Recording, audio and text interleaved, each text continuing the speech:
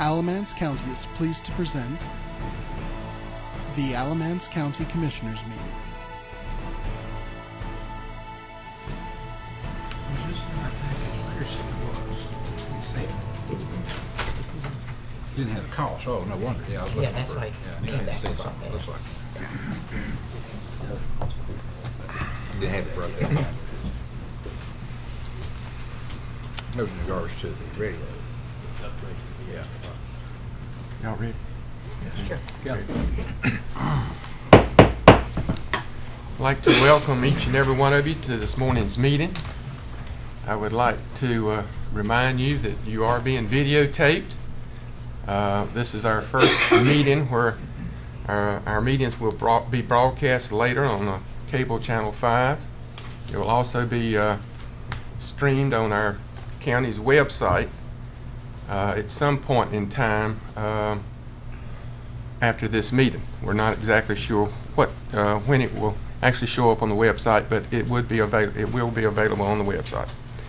Uh, I would like to uh, uh, give Commissioner Vaughn credit uh, for the, uh, our equipment.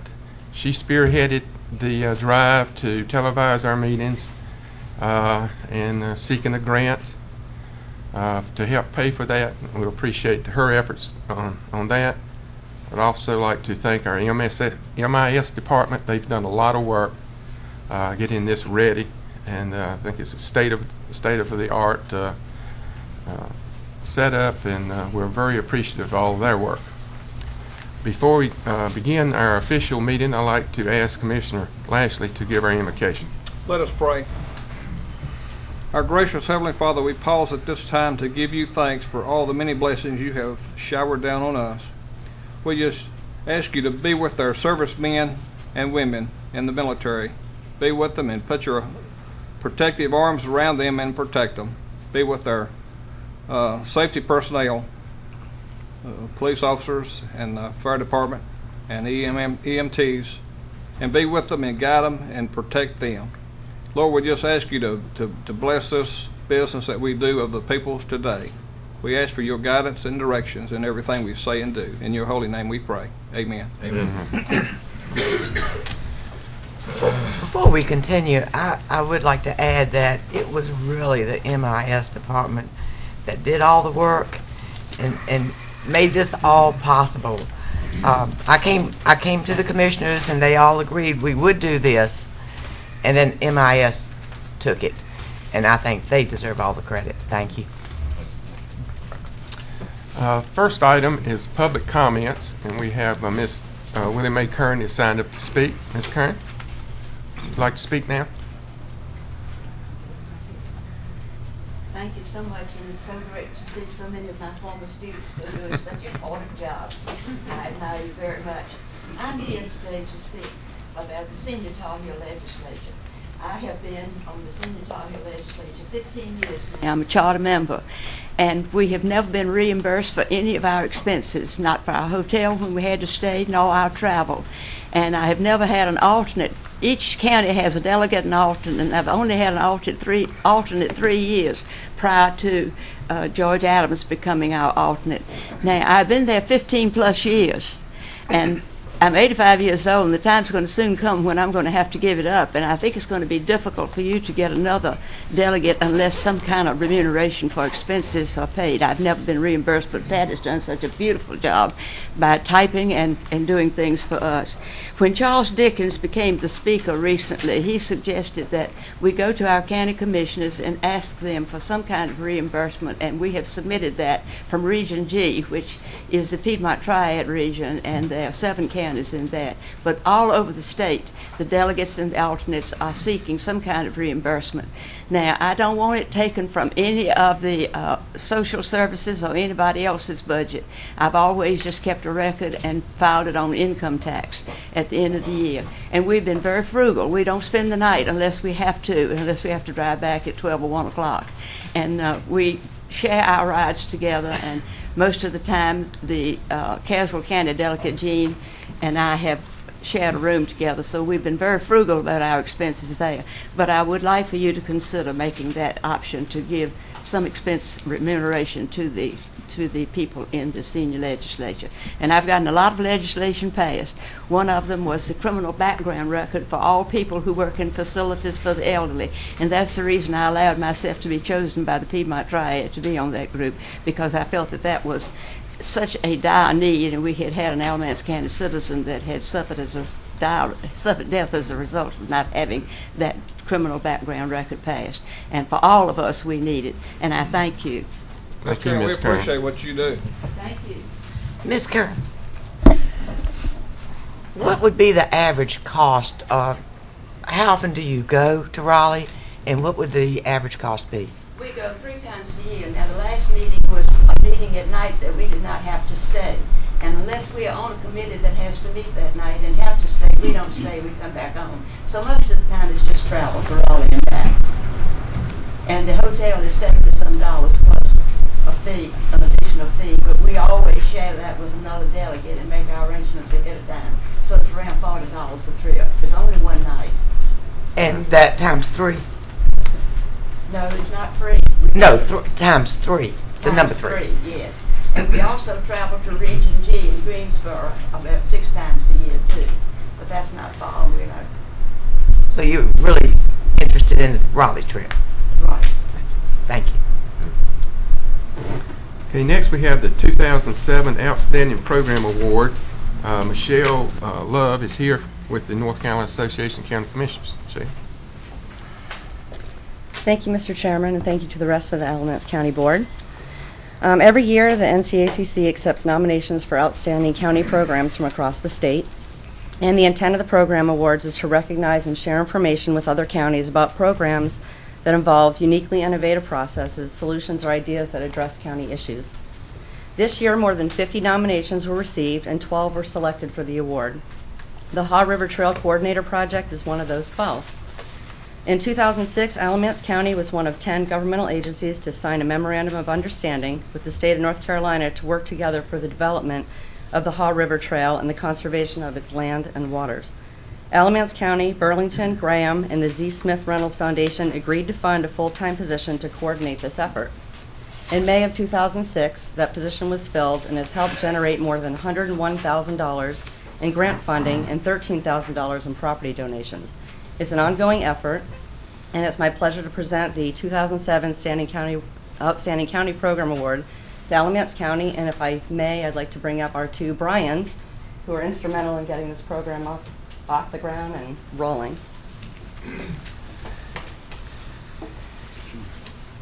So much for your Thank you very much. Uh, Well, on behalf of the County Recreation Department, we're just so pleased uh, and, uh, to receive this award. I think this is uh, a very unique program. It's a lot of coordination with the uh, local municipalities of the state, and uh, I think it was very foresighted of this board to commission our master plan two years ago. This came right out of the Recreation Master Plan, and then uh, to assist us with bringing Brian Baker on board. And this project's been very successful. It's drummed up a lot of interest in the Haw River Trail, and I think uh, all of that can be laid at Mr. Baker's feet. Unique individual, uh, has a lot of different types of experiences helped make this possible. So uh, we're very pleased, very uh, excited. I think you should be pleased with the results that's coming out of this effort. So. Thank you. Brian, Brian, would you like to say anything? Well, I, I want to note this award is not for the execution of the program, but for the uh, the design of the program, which has nothing to do with me.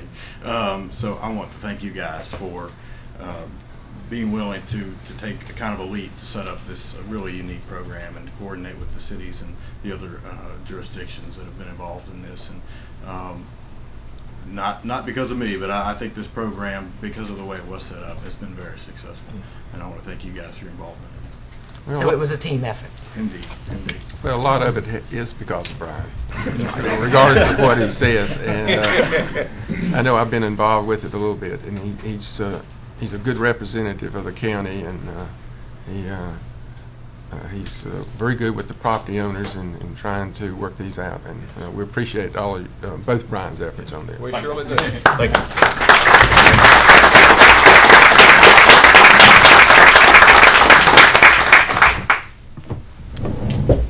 Next, we have, uh, in addition to the Haw River Trail, we have the Civil War Trail.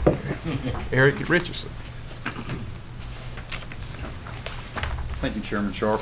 uh, Commissioner Vaughn, um, Judge Smith, and gentlemen commissioners. Um, we're going to do something a little different for me. I come from a line of circuit preachers and elders, and we don't use visual aids. So I'm going to bear with me, please, because I'm not used to doing it this way. We're going to talk about uh, the Civil War Trails program that we're working on here in Alamance County and give the commissioners an update on it. Um, it's divided into two sections, and we'll look at it uh, in a minute uh, along these two lines. Confederate Lifeline interprets the, the Civil War from the Confederate home front. Uh, we look at production, transportation, distribution, uh, railroad network, and road network across Alamance County. Second, and I didn't modify this, uh, we're presenting to the state pretty much a fait accompli. And I noticed two of you, three of you now have the map open. If you'll open it all the way up as, as Commissioner Sutton has it, uh, I'll give.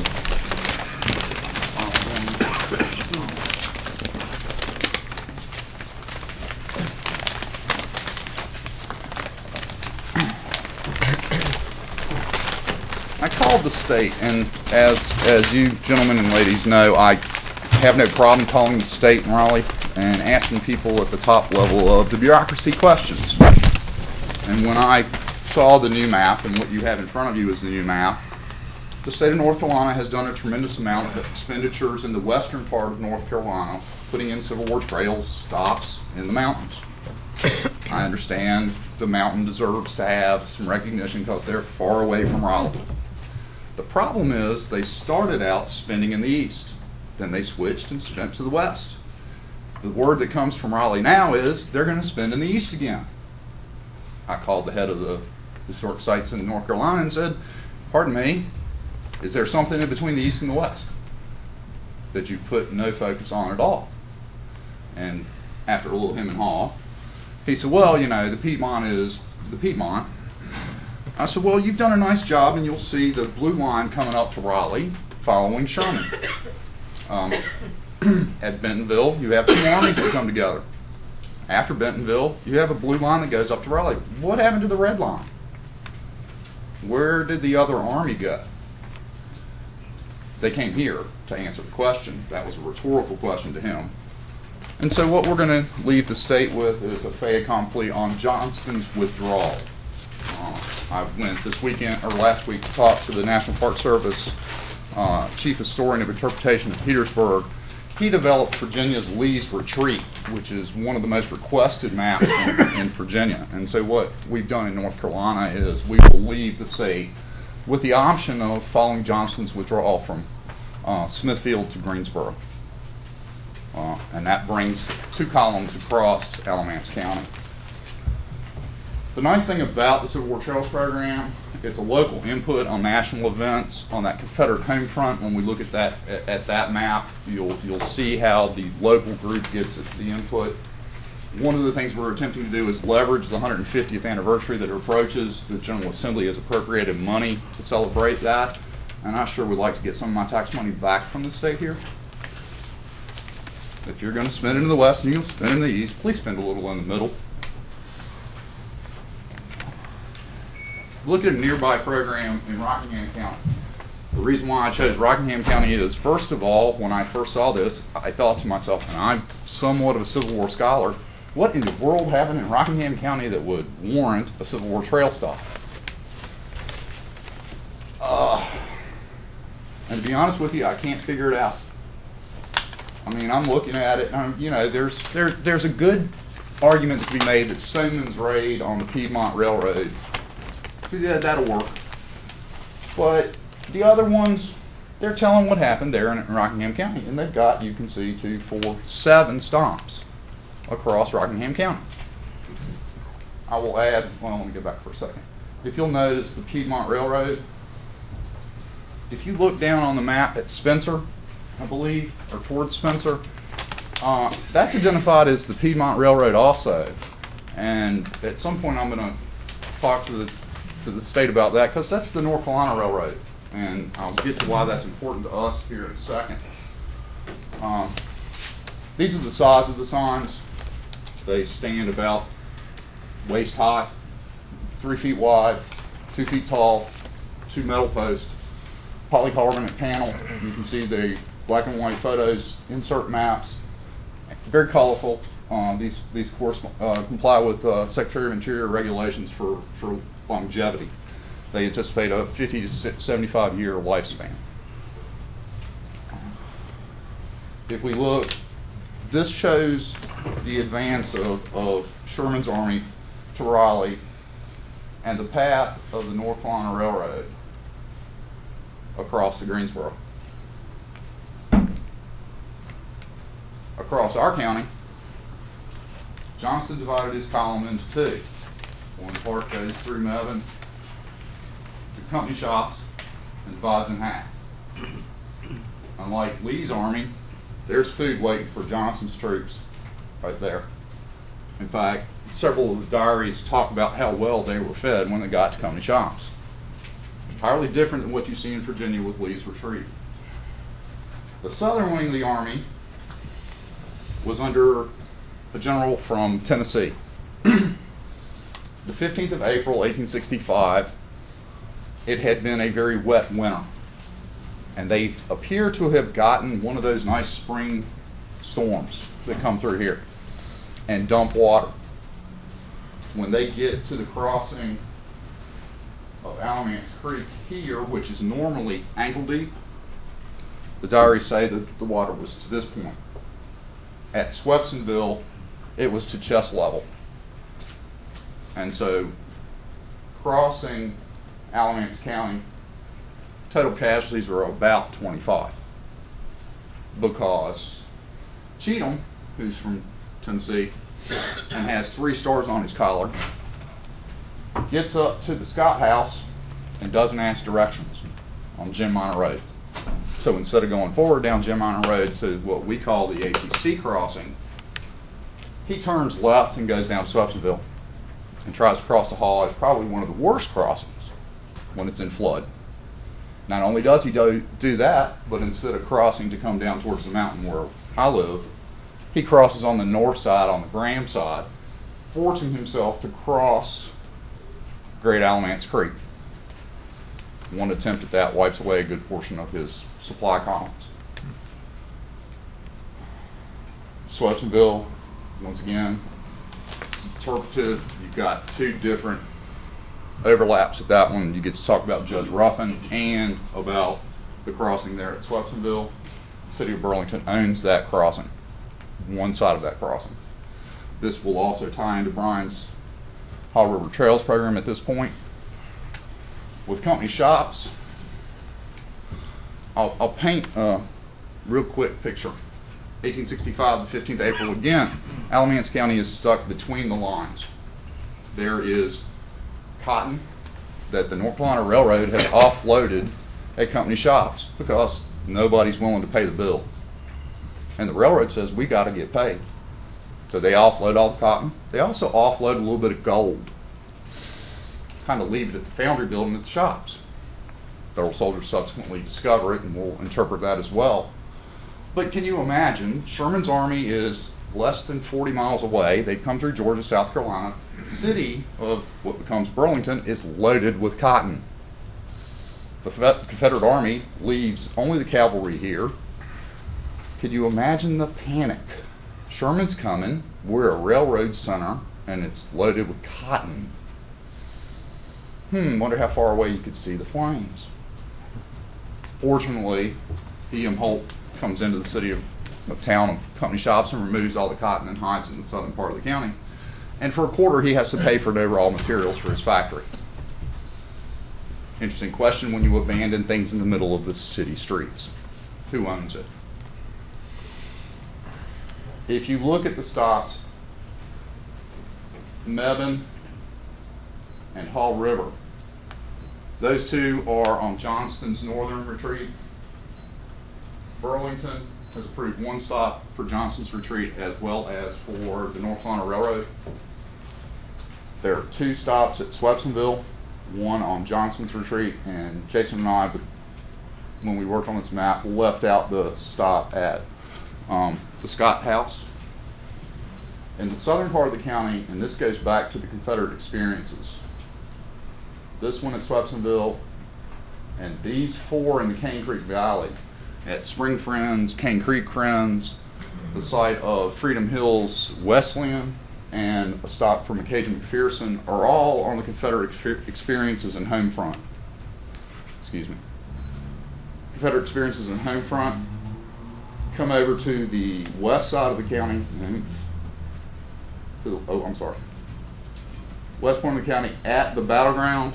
The southern wing camps at the battleground on the night of the 15th. It would bring additional focus to the Alamance battleground the stop there on the south side of the road coming into Alamance, that's for Springdale AME Church. Springdale was established by Sam Holt from a gift from E.M. Holt. Sam Holt was his slave. E.M. gave him the land and the right to build that meeting house in 1863. They have the original deed in their possession. So we think that's very important to understanding the overall sentiment of the county.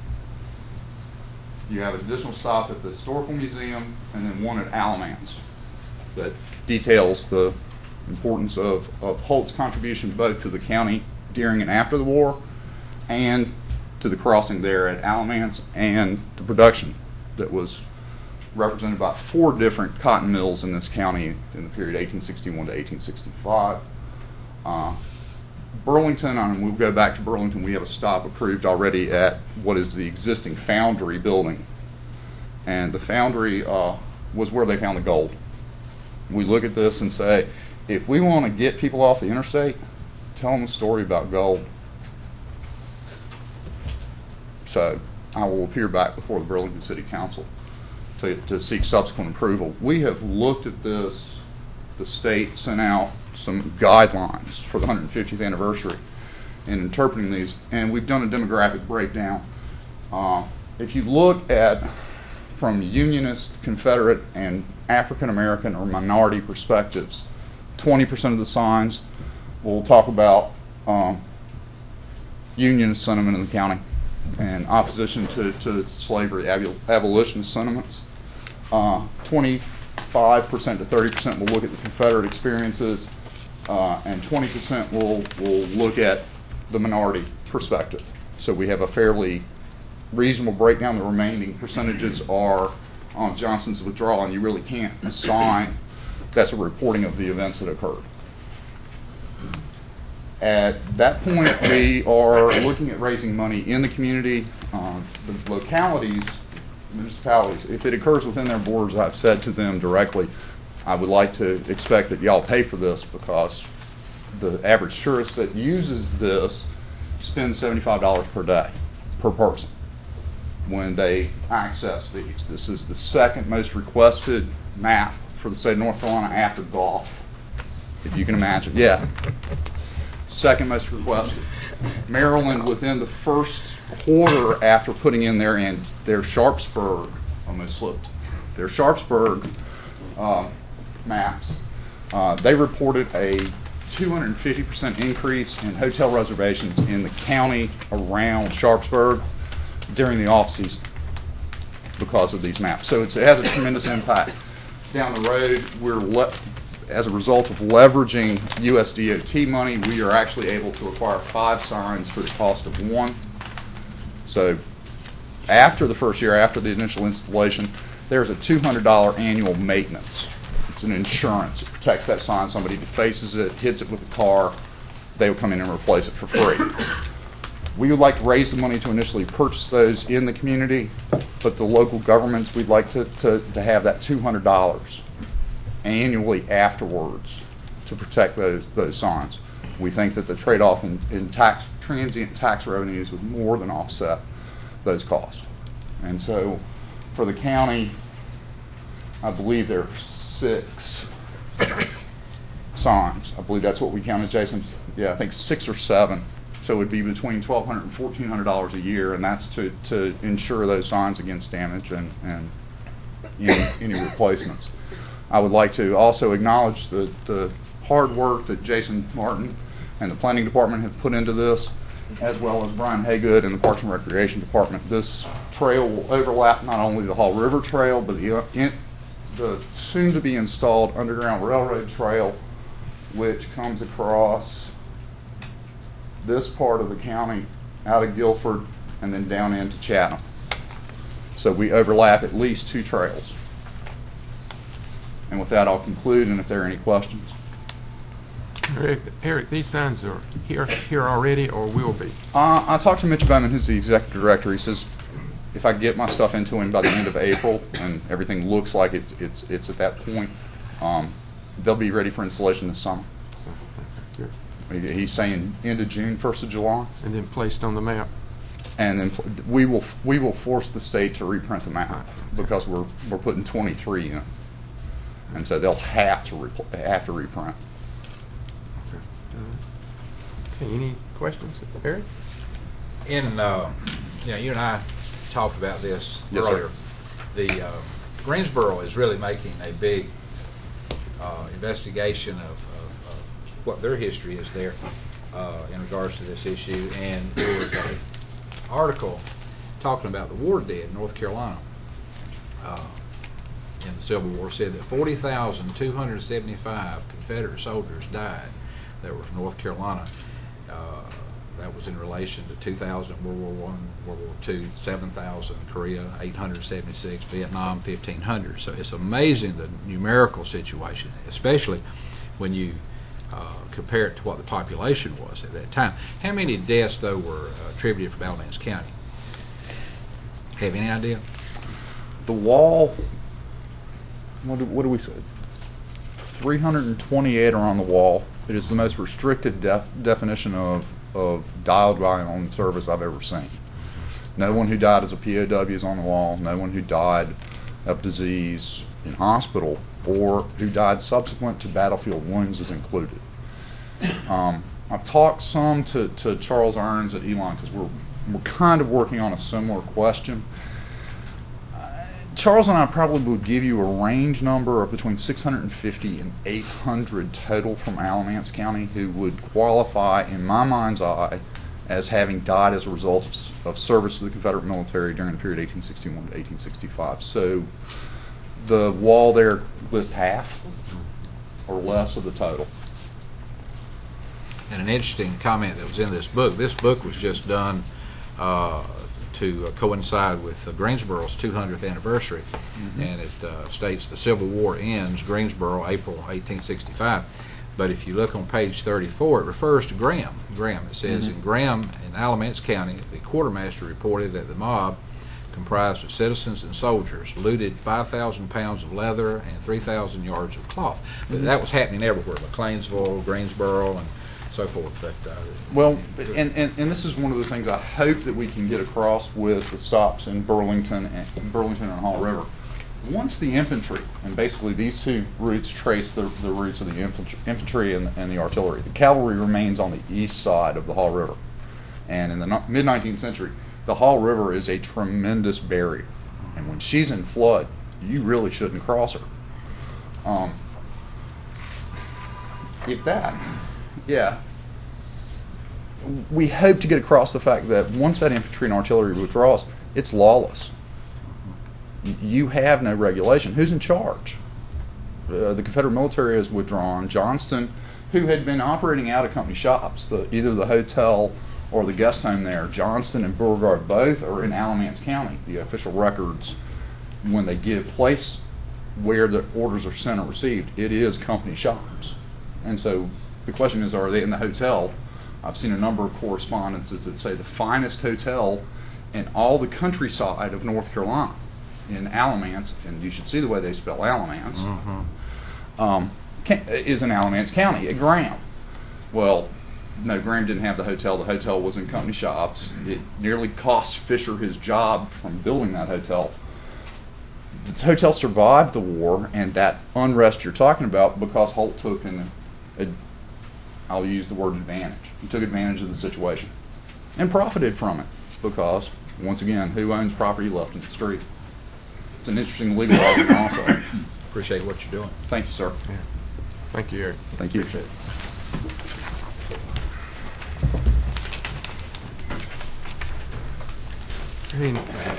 Next is a presentation by uh, ACTA. uh, Dave Cummins. Dave? Brian? Actually, I'm Dwight Myers. I'm Operations Manager with Alamance County Transportation, uh, and I will be presenting today.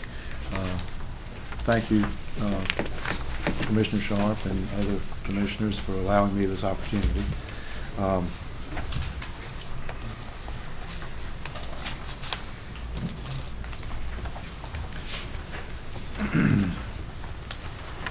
The purpose of, of me being here today is to request fifty thousand dollars additional funds from the county uh, so that we can purchase a total of seven new vehicles uh, for our fleet. To give you a few statistics, um, this is our ridership here. Uh, This chart represents our ridership. Uh, This is one-way trips, uh, and it does not include any necessary um, attendants who may be uh, needed to provide uh, assistance for people who are riding with us. Our subscription service is for our governmental agencies, um, like the uh, Alamance County Recreation Department and also uh, our DSS or Medicaid Transportation uh, is our biggest subscription provider, uh, or we provide transportation for them. Uh, As you can see, in subscription, our uh, ridership has been on a, on a good increase until uh, this year, projected 2008. We have had a decrease in ridership, uh, which has actually uh, hurt our revenues uh, for this particular service that we provide in 2008. Our Dollar Ride program is for our senior citizens of, of the county, and um, as you can see there, that our ridership there has, has uh, doubled since 2003, so uh, it's really being utilized.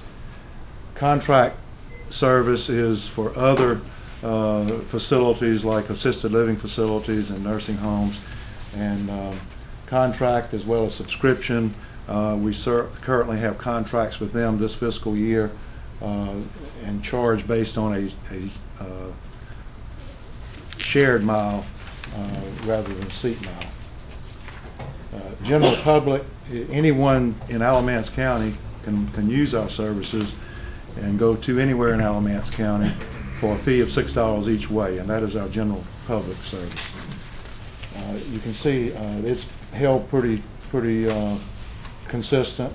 Uh, Contract has gone down a little bit over the years, and mainly due to the fact that some of our uh, agencies there have, are utilizing their own vehicles, but they still call upon us as, they- as they need to. Again, you can see in total trips, the um, general ridership in total trips has been on incline with the exception of this year. This is a look at our financial history for the last six years. Um, Administrative has gone up over the last couple years, 2007 and 2008, and that's mainly due to the fact that we were, that the state allowed us to take out uh, the cost of of automobile, or vehicular insurance and out of operations and put it into the administrative budget. Uh, Our capital account there uh, is, uh, most of that expense is the vehicle, cost of vehicles, and um, the, the state, through our CTP grant, it uh, pays for ninety percent of the cost of the vehicles, as well as back on administrative, ninety percent of the cost of administrative. We actually um, incurred a hundred and fifty thousand dollar debt when, we- when we started ACTA back in two thousand and two uh, from the county. Uh, Well, we were paying the county back. It was in- incurred from a previous contractor prior to 2002.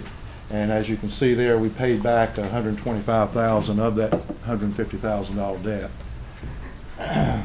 So if you take out the, deduct the expenses from the revenues, as you can see, our cash flow has held pretty consistent with the exception of estimated 2008 fiscal year, where you can see we've, we've had a, a deficit, or we will have a deficit of, of $50,000 for this year. And of course, that is the fifty thousand dollars that we desperately need to purchase these seven new vehicles. As a percent of operations, uh, because of the CTP grant paying for 90 percent of our administrative budget, uh, we only have to take out less than 2% out of operations to fund our administrative budget. And um, the other thing I want to point out here on this chart is the fact that the service miles have been on a, on a slight incline throughout the years until 2008. We are able to take out, we were able to take out some of the miles uh, in 2008 due to the decrease in ridership of, of the uh, subscription uh, clients. This chart shows our revenue increase impact. Our CTP grant, as I mentioned earlier, it covers 90% of our administrative budget as well as 90% of the cost of our vehicles. Um, Our RGP grant covers um, the difference in the six dollars that we charge per client on general public ridership uh, compared to what it actually cost us uh, out of pocket per trip, which is about fourteen dollars. So it makes up the difference. And then the uh, we we do appreciate the county assistance uh, as well as the the uh, state assistance that we're given given to provide this this uh, service for the county. Um, the county assistance, most of that goes into matching the, the grant funds that we get for the 10% grants. And we also use some of that money to provide transportation for our dollar ride clients or our senior citizens clients. And then our EDTAP funds, that is funds that we use to provide transportation for the elderly and disabled. Uh, service charges, that's the funds that we collect from uh, our subscription and our contract clients. And our fares is collected from the six dollars fares from the general public customers that we have. And we have um, uh, put in procedures and, uh, and practices to make sure that we collect all that money. In fact, we actually got a, got an award from the state on uh, procedures and collections on our general affairs client uh, collections uh, back in 2005, I think it was. And the cost impact, our operation salaries and wages, uh, it has uh, gone up some. Actually, in 2005 and 2007, we had a 5% cost of living increase that that we awarded to our our employees, uh, which amounts to, or equates to a 3.1% uh, annual, like a cost of living raise. Um, and fringe benefits has been pretty well holding its own uh, throughout the, the five, five and a half years. Uh, and we're able to do that because uh, when, say, for instance, a, a full-time employee leaves the company, what we've been doing is been able to replace the full-time employees with part-time employees, which it doesn't cost anything for the fringe benefits. The fuel and oil is where we're really taking a hit. Uh, As everyone knows, uh, that is an expense that keeps going up and up and up. And um, there's no exception for ACTA, which we have very little control over. It's gone up uh, um, uh, like tripled in the last five years. And the tires that we, we're going to put on our vehicles, we average about one, one set per vehicle per, per year. And uh, we're, we've been able to hold that down to a, a pretty reasonable cost. How many employees do you have? We have, a- currently, we have a total of, Dave, help me out here. 44, 44 employees. Full-time? No, we have uh, only, only uh, 12 full-time employees that are, that are drivers. And and then the rest are part-time employees. And we have four in the, in the administrative part. Our maintenance and repairs, that's something I definitely want to hit on because as you can see, as we purchase new vehicles, the cost of maintenance and repairs go down. And that's why it's so important that we maintain a, a good, relatively new fleet as much as possible. Uh, and as, as mentioned earlier, uh, out of operations, it only costs us 10% of the cost of the new vehicle. But as far as maintenance and repairs, operations must pay the 100% of the cost of, of maintenance and repairs. So that's why it's so critical that we try to maintain good uh, relatively newer vehicles because history shows us that it doesn't cost as much from a maintenance and repair standpoint uh, for new vehicles versus the older vehicles. This is a maximum loss example, and I, I just want to touch on this to give you a feel for how sometimes we lose money on a one-trip type situation. If we go down to the Liberty area, which is close to the county line, which is probably the furthest that we would probably go, uh, to, to pick up that client, to go down and pick up that client and take that client to their appointment locally here, and then take that client back home and come back to base, it's approximately 100 miles. And it costs a dollar and 37 cents um, out of pocket to, to run those vans. Uh, that's counting the, the labor and the, and the, everything goes, that goes into that. So we're looking at $137 for that trip, for taking that client to, to their appointment. If we didn't have anyone else on that vehicle, that's what it would cost. So we make a conscious effort to get as many people on the vehicles as we can to lower that per trip cost. The more people we have on the van, obviously, the less it's going to cost per trip. Uh, If that person was riding under Dollar Ride, we would get reimbursed from our Dollar Ride program of twenty dollars. So we have a direct loss of hundred and seventeen dollars that we've got to try to make up from other types of funds or, or pay it out of operations. This is what we've estimated that, that, that is happening to us. Uh, The, the decrease in revenues that we're getting from, through DSS, which is our biggest subscription provider uh, that we provide transportation to, is roughly twenty thousand dollars per month. We've been able to reduce uh, driver hours and also mileages to be able to save approximately fourteen thousand per month since we've been able to do, we have less trips. But it still gives us a shortfall of about fifty-four hundred dollars. Now, we've also had to take out of our cash reserve approximately twenty-seven thousand dollars since December, since our business and subscription business has started dropping off, uh, in order to, to pay expenses and pay other operating costs. And to put, replenish that money, it would take about sixty-seven hundred dollars for the, for the rest of the fiscal year, or for the next four months. Uh, So if you add that up, uh, what we really need is about a little over twelve thousand dollars uh, for the next four months, which is about fifty thousand dollars. This is what it's going to take to purchase those vehicles. We've, we had one vehicle that was totaled uh, that we have to replace, and we were reimbursed by our insurance company of twenty-seven thousand dollars, which went into the capital reserve uh, it will cost to replace that vehicle $35,000.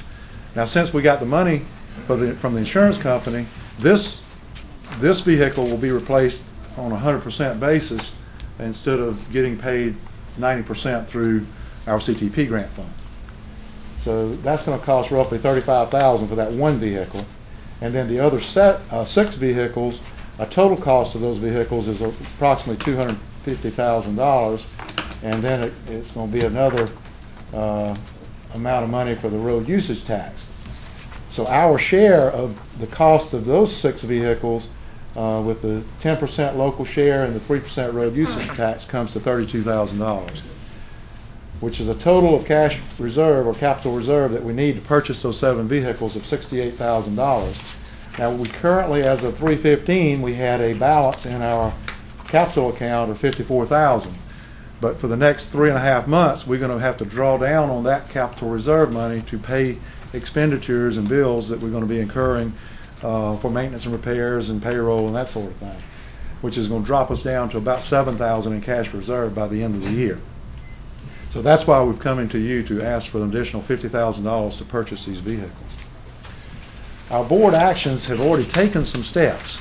Um, uh, One of the steps they took is, is to allow me to come before you today to request this fifty thousand dollars um, to cover the ten percent uh, cost of of our share of the vehicles and the- also the three percent road usage tax. Now, these funds are needed for vehicles on order, which, which will arrive no later than next month. And we had to purchase these vehicles prior to knowing exactly what the outcome was going to be on the less on the decrease in business uh, from our subscription customer. Uh, Of course, current cash flow will not generate these funds. Now, the board has, has also taken steps so that hopefully we won't have to come before you again next fiscal year to ask for more money. And that, those steps are, are number one, uh, approve a fee, and this is not, this, this hopefully will get approved at our next board meeting, okay, if, if it's approved. And that is to approve a fee for our Dial Ride clients where they've not been paying anything for their trips to contribute three dollars for their trips. The second thing is uh, approve a fee for our general public for an increase of one dollar, which will go from six dollars to seven dollars per trip. Now, those two things should generate uh, approximately sixty thousand additional funds in revenue uh, for the next fiscal year. Of course, the public reaction to these increases will probably be negative. The next thing that the board action has already taken steps on uh, is to reduce the benefits for our drivers. Um, The benefits uh, have already been communicated uh, to our drivers because it requires a 90-day uh, notice to the employees. Uh, We did that last week so that uh, we would be able to uh, put this into effect beginning of the next fiscal year, which will be July, July 1, 2008.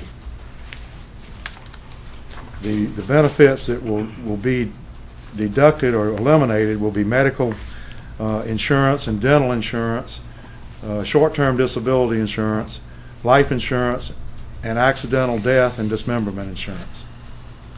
Of course, the holidays and the vacation pay is not going to be affected.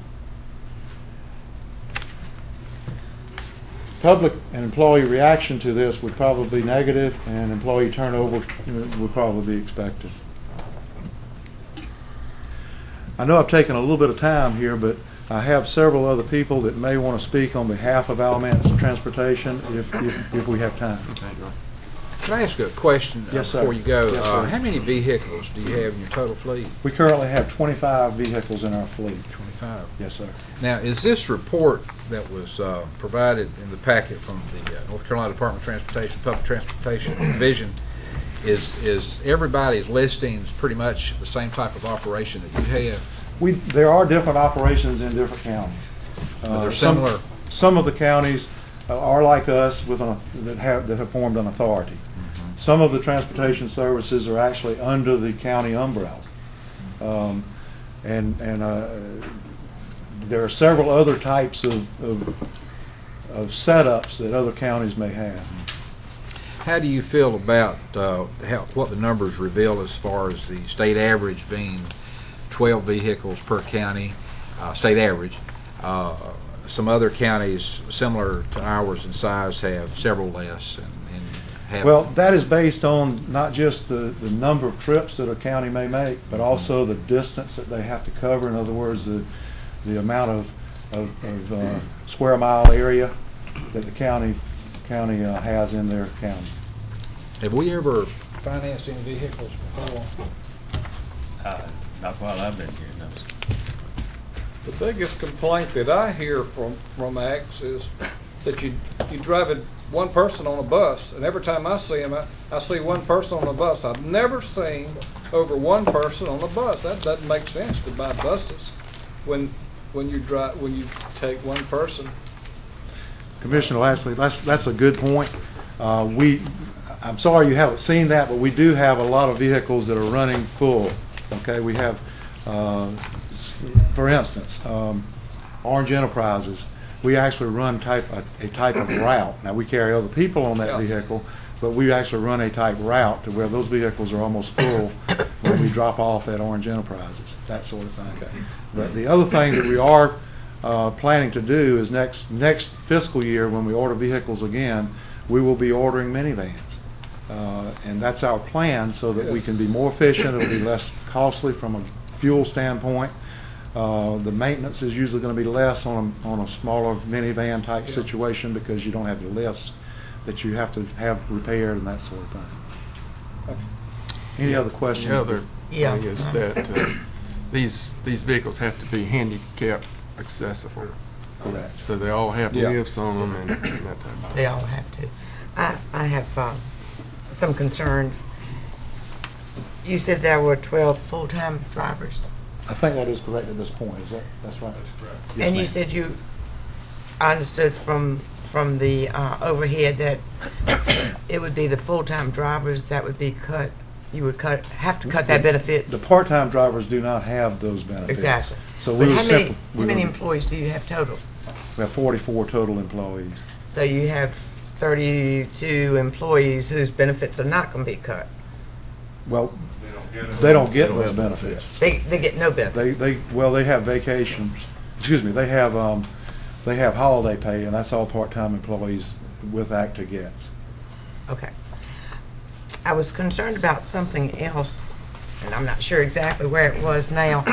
Um, The loss of, from DSS, Yes, ma'am. of $20,000. Would you say that, a month? Roughly, yes, ma'am. Why did that happen? Uh, DSS had made the decision to use other transportation services other than ACTA. May I refer to Ms. Osborne? Why, why, Well, DSS got a better offer.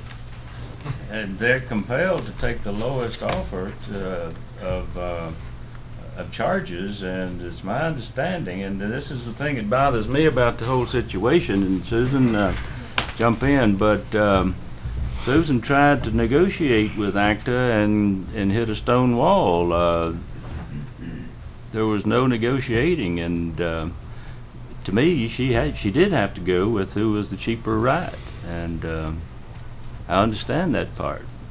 But uh, losing twenty thousand dollars a month is an awful lot of money, and you know, I, I asked, you know, what have you done to cut your expenses, and there's been very little done so far, but hopefully in the future is what we hear is going to be done.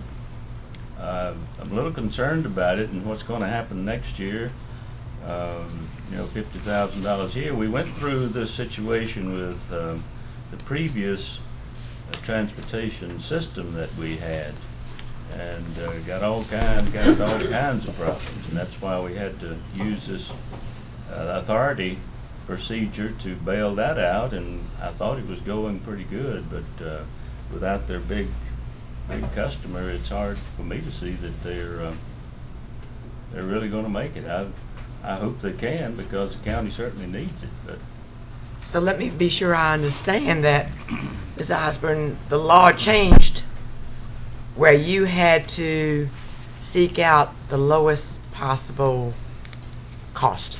Right. Medicaid re- revised their policy and said that Medicaid won't reimburse the county for, um, unless we're using the lowest cost provider, number one. Secondly, they won't reimburse for what they call deadhead miles, and that's the miles, um, that Dwight talked about when they leave the station and they go pick up the client. Um, we, Medicaid won't reimburse for that. They only start the reimbursement process when a client is in the van. Um, so we identified this change, um, met with Dennis and his board, um, talked about what this was going to mean in terms of um, our being able to use ACTA for the Medicaid. It would mean if we chose to do that, that we would have county dollars not reimbursed by Medicaid. Um, and we're, we're a $50,000 a month provider. Um, that's how much transportation we were using. Um, so we did make a change. Um, we're also putting out an RFP that I, um, will be available to ACTA for the for the new fiscal year. Um, but we're paying two dollars a mile right now, between um, a dollar seventy-five and two dollars a mile with the current providers. And we average the ACTA mile it's about four dollars and fifty-two cents. Thank you. Mr. Myers, I, I feel that ACTA is very, very important. I hope maybe in the future, because she is bound by federal law. Am I correct, Ms. Osborne? Yes. And, and really has no choice. That maybe you can get together in the future and come to some kind of agreement where you may be the lowest cost provider. And she could use And I you. would certainly welcome that opportunity to, to get with her and meet with her. Okay. Anybody else from uh, ACTA would like to speak? Ms. Kern?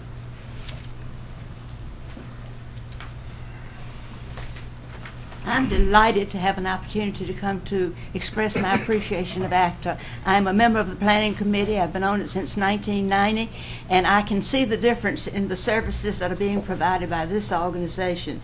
We are recognized in the state as being a county that has a multitude of services for the elderly, and we are asked to address those in senior legislature all the time to tell the other counties what we have.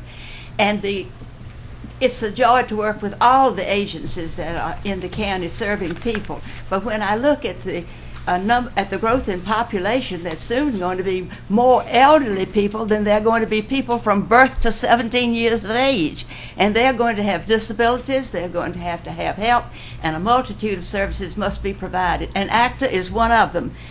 Uh, on Friday, March the 28th, I attended the Northern Piedmont Regional Caucus in North Carolina on the Disability Action Network and uh, in Greensboro. And it's amazing how many elderly people were there and very young people who were there, teenagers, who are just crucially disabled.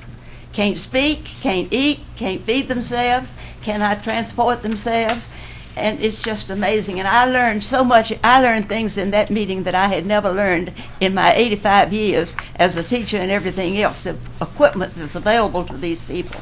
But ACTA is so kind and so courteous. I frequent many of the nursing homes and the hospital services, and I see the ACTA drivers so consciously aware of whom they have and so kind and compassionate with these people.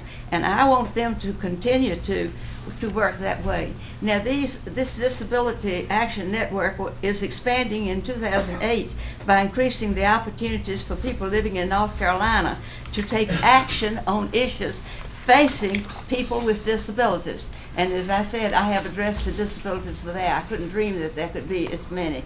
And uh, they, they talked all morning about what their needs were going to be, and in the afternoon, they, they voted on what they thought were their greatest needs. And you know what the first one was? Transportation. Because they are going to have to have transportation. That Many of them have parents who work, and they've got to go to all kinds of uh, facilities for treatment and for help. And that was their first one. And so I just am very avid in my cooperation with ACTA. It's a beautiful uh, service to work with, and all, as, as with all the services that you that you have so graciously given the county, we appreciate that one as much as any other thing, and I hope that their needs can be met. Thank you. Thank you. Thank you.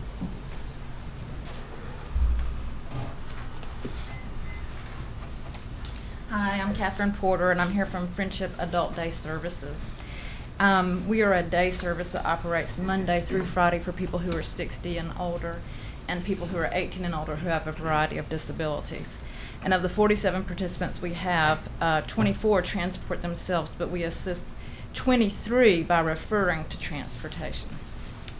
And uh, so that would be 23 people that go in about three vans that are basically filled.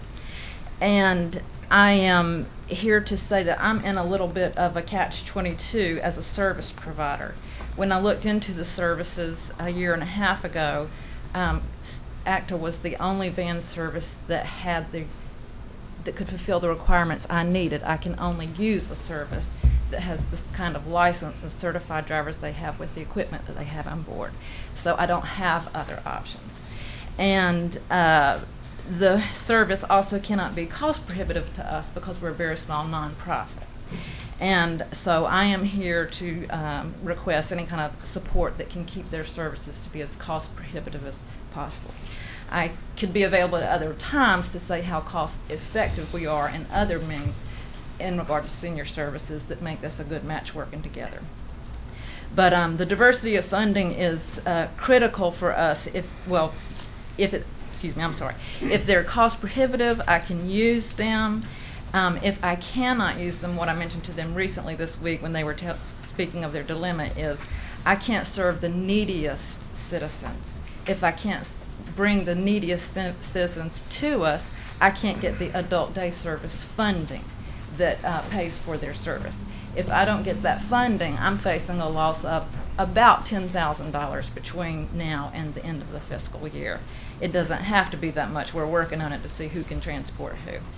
But um, so I am here in support of uh, costs being as much community support as there can be, so the costs are as low as possible.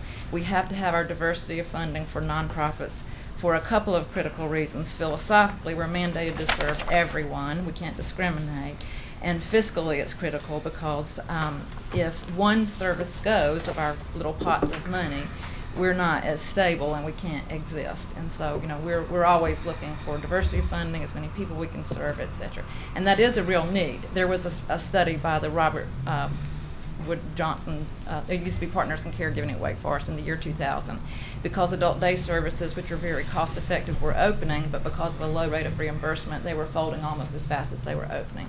So there's been a lot of research about how to be fiscally responsible responsible, diversify, remain stable, and we work on all those things. So I'm here in support for assistance so that we can exist. And the most recent term that I've heard for the great um, tip in the aging demographics, when we know that from 2010 to 2030 that they're going to be mostly older citizens, the, the mo- most recent term I've heard about this is it's being called the senior tsunami. So you know we do need to be here. We need to be here. We need to grow and expand so that we'll be able to serve people.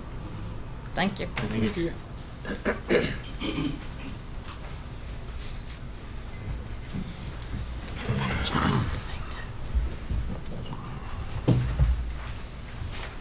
Mayor? Good morning, How you doing? Commissioners. I'm pleased to be here. I'm Leonard Williams. I'm the mayor of the town of Gibsonville. I also serve as the chairman of the Burlington Graham Transportation Advisory Committee. I also serve on the PARD board and uh, with Mr. uh, Commissioner Engel. And I only said that to say, to talk about my interest in transportation, and I've had conversation with many of you about transportation. Uh, Two weeks ago, I found my way to the, to the ACTA board meeting. Every so often I try to go there.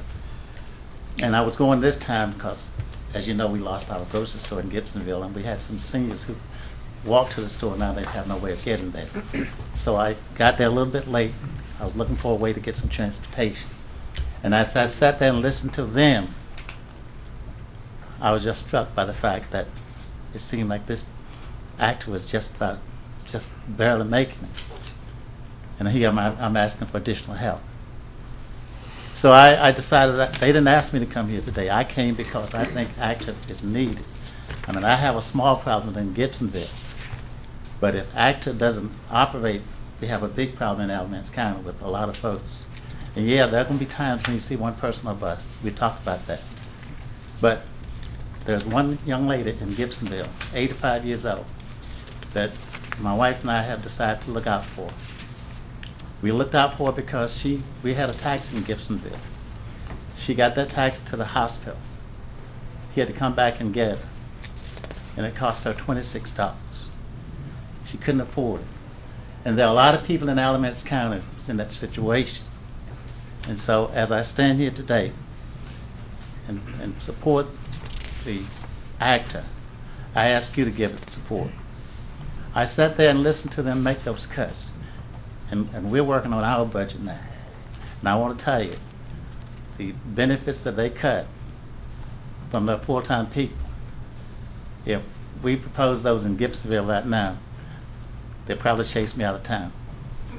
Because health insurance is a major part, part. And so they had to do what they had to do to try to make this organization work. And with the changes they're making, and after listening to that board discuss it at the meeting two weeks ago, I believe that ACTA will survive with the changes they're making, with the increases. So I would ask you to give them a chance. And unless, I live in Alamance County, I'm willing to let my tax dollars go to help because the elderly can't help themselves when it comes to transportation. They don't want to get out in that heavy traffic. And many of them don't have cars. I have a car. I don't need it, but there are lo- others who do need it. And so I'd ask you to support them. Thank you. Thank you.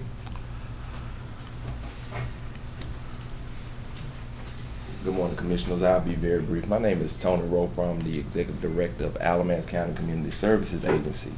And just briefly want to say that uh, we at the agency, of course, is a partner of ACTA, and we do support ACTA in what they're doing here in the community.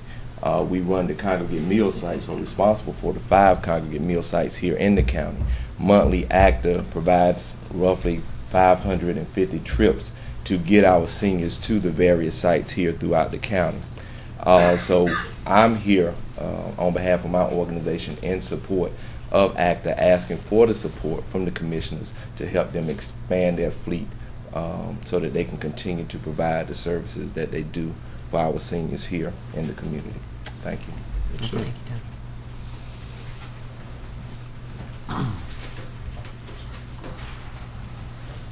Commissioners, my name is uh, Tom Wilson. I'm the site director for OE Enterprises of Alamance County, formerly Vocational Trades. Uh, we provide services to approximately 275 to 300 individuals a year with employment barriers, disabilities, whether they be physical, mental, or developmental. Those individuals, uh, many of them, require the support of ACTA to make it to our site for training and to jobs in the community when we place them and support them on those jobs. Um, right now, ACTA provides tr- daily transportation for us of 25 individuals to and from the facility, in addition to another 10 to 15 individuals throughout the week to various job sites uh, who are employed in the community through our efforts. Um, those individuals have gone from public assistance to being taxpayers. Um, and so, if you want to look at this as an investment of county funds, you're investing in the success of OE, which is tied to the success of ACTA. Um, and we, uh, we appreciate that support um, as much as, as can be given. Thank you. Thank you. Appreciate it. Any other, Sue? Sure. I'd just like to clarify a couple of things. Um, having been on the transportation board for um, almost eight years, um, I certainly understand the predicament that they're in. But I want you to understand clearly the, the issues that we're grappling with at Social Services. Um, when we met with Dennis back in the fall, um, we talked about 16% of our clients use wheelchair vans. So um, we implored the use of a minivan to cut down on cost. We tried to work out some of those things before we actually um, had to move some of our business. Um, we gave 90, 90 days for ACTA to respond um, to some of the issues with the high cost. Um, and then, um, so uh, we looked at bills in August, and I've looked at bills again in February, and we are still paying um, what ACTA calls a shared ride versus a per mile cost. Um, so I wanted to give you a couple of examples of why we've had to um, make this change. For example, we transported a client from Charles Drew to Charles Drew from their Morningside apartment, which is 0.6 of a mile, for a charge of $30.19. We took them home the same mileage. It was $17.50. So the, the problem that we have is number one, we can't anticipate the cost because it is a shared ride versus a per mile cost. Um, and the cost when we average it um, for our per mile, and, and, and I have multiple examples um, that I'll be glad for you to look at, but that's, that's our dilemma, and it's a pretty significant dilemma, um, which is why we felt like we had to take um, these actions. Um, we will be putting that RFP out, and we do want to work with ACTA. Their customer service is wonderful, um, but we, we've had no co- no no choice with the, the cost and um, our responsibility to keep government as efficient as it can be. Any other? Yeah. What we are planning to do uh, for the next fiscal year, when, when we get our contract proposals done, is to do exactly what Ms. Osborne mentioned, and that is to charge from a, by a seat mile versus fixed, uh, shared mile. So I just wanted to clear that up, okay? That, that will be addressed uh, at the beginning of the next fiscal year. However, the contracts were signed for this fiscal year that we're in based on a shared mile situation? The 25 vehicles that you have now, how were they purchased? Uh, They were purchased through the state, um, and uh, they were purchased at different intervals. Um, and, I- and in fact, in 2003 and 2004, we purchased 12 new vehicles. Uh, in, in 2005, we purchased uh, two minivans. In 2006, we purchased four uh, new high tops. Well, my question is, how did you finance them, or how do we finance What was the money flow? Well, we- Where did it come from? As you saw in our cash flow, we were able to have enough money. We- We're not making a profit. We've never tried to make a profit because we are a not-for-profit type organization. Uh, So we work out of, off of a budget, and, um, but we do, we are, we have been able to generate enough revenue to maintain enough cash flow to be able to uh, pay for the ten percent uh, of, of the cost of the vehicles out of our cash reserve. You do have borrowing authority, is that correct? No. I don't think so. You don't? sir. No. No, sir. Okay. And I'm, I'm on the ACTA board, and we did look into that uh, a couple of years ago about trying to establish a line of credit and that type of thing, and, and we legally cannot do that. Could I say something that the, the way those vehicles are financed was obviously ninety percent was paid by the state grant and the remaining ten percent has come out of the funds that the, some of it out of the funds that the county has provided us. And some of it has come from advertising revenues, which we only put into our capital account. And some of it has come from sale of uh, surplus vehicles. Is there an ACTA budget request for 2008, 2009? Yes.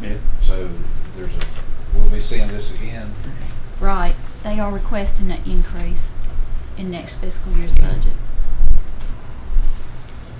However, the increase that we're requesting initially, based on the steps that our board members have chosen to take, we, we may not need to have as drastic an increase for the next fiscal year as what our, our proposed budget in- indicates. Is that a fair statement? That's correct. Uh, Could I And say I- something else? A statement was made about the former company that operated here and uh, sort of comparing us to them. And I I don't, I don't want any comparison like that because that was a financial defalcation that took place there. And I don't like the suggestion that there's been any, you know, financial improprieties at ACTA. Our books are open to audit. They are audited every year, and anybody's free to look at them uh, at any time. Thank you, Mr. As they stated, the predicament uh, for ACTA is that um, they have a lot of built-in expense on, on picking up one or two riders uh, that lives on the edge of the county and transporting them. Uh, when social services uh, had to change their procedures and, and bid this out, then other providers could come in and kind of cherry pick what they wanted to bid on. And they took, I guess, the some of the good business that ACTA had and left ACTA with all the expensive uh, money losing part of it. Yeah. And ACTA's cost over the years has been trying to uh, trying to make up that deadhead cost that he spoke about. Uh, so their their fees may have been a little bit higher, but uh, since uh, social services has uh, uh, moved part of their business, uh, the board has been active in trying to uh, reduce costs as much as possible and make it efficient and, and try to uh, look at other ways other counties are handling uh, their operation. And, and as Dwight said, uh, we're going to, on the next uh, bids, uh, make a bid on the seat mile, not the deadhead mile. So um, they're actively trying to uh, keep ACTA uh, viable uh, because there are a lot of people that depend on it, and and but uh, to keep it that way, uh, some pain is going to be shared among the staff and, and the riders,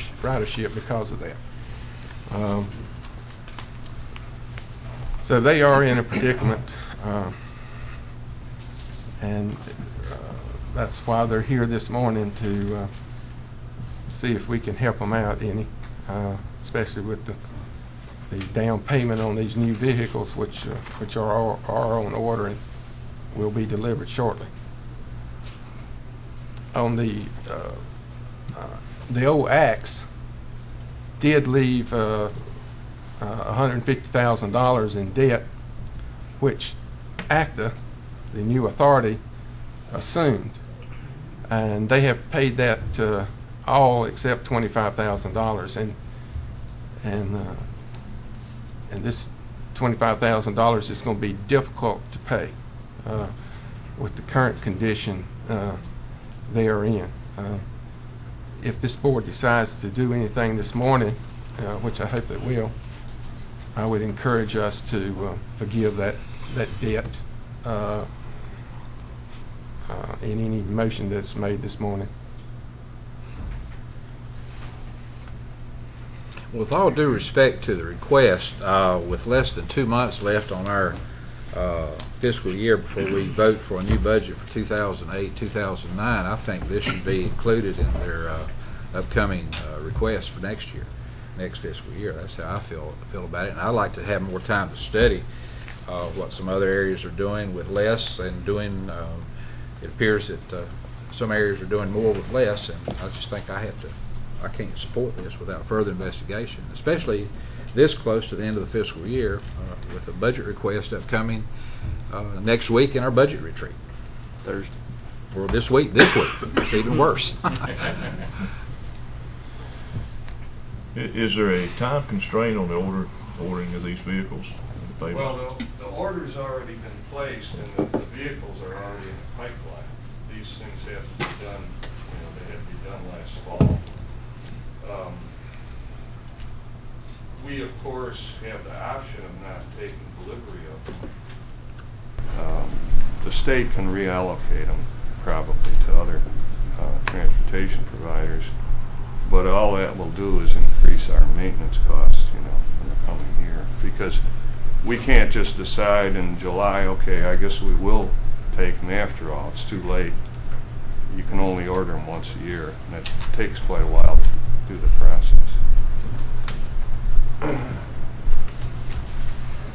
Okay, well, just for uh, discussion's sake, I'd like to put a motion uh, that uh, we uh, provide their requested funding of $50,000 uh, to be paid out of our contingency fund, county's contingency fund, and that uh, we also uh, forgive the uh, $25,000 in remaining debt to the county.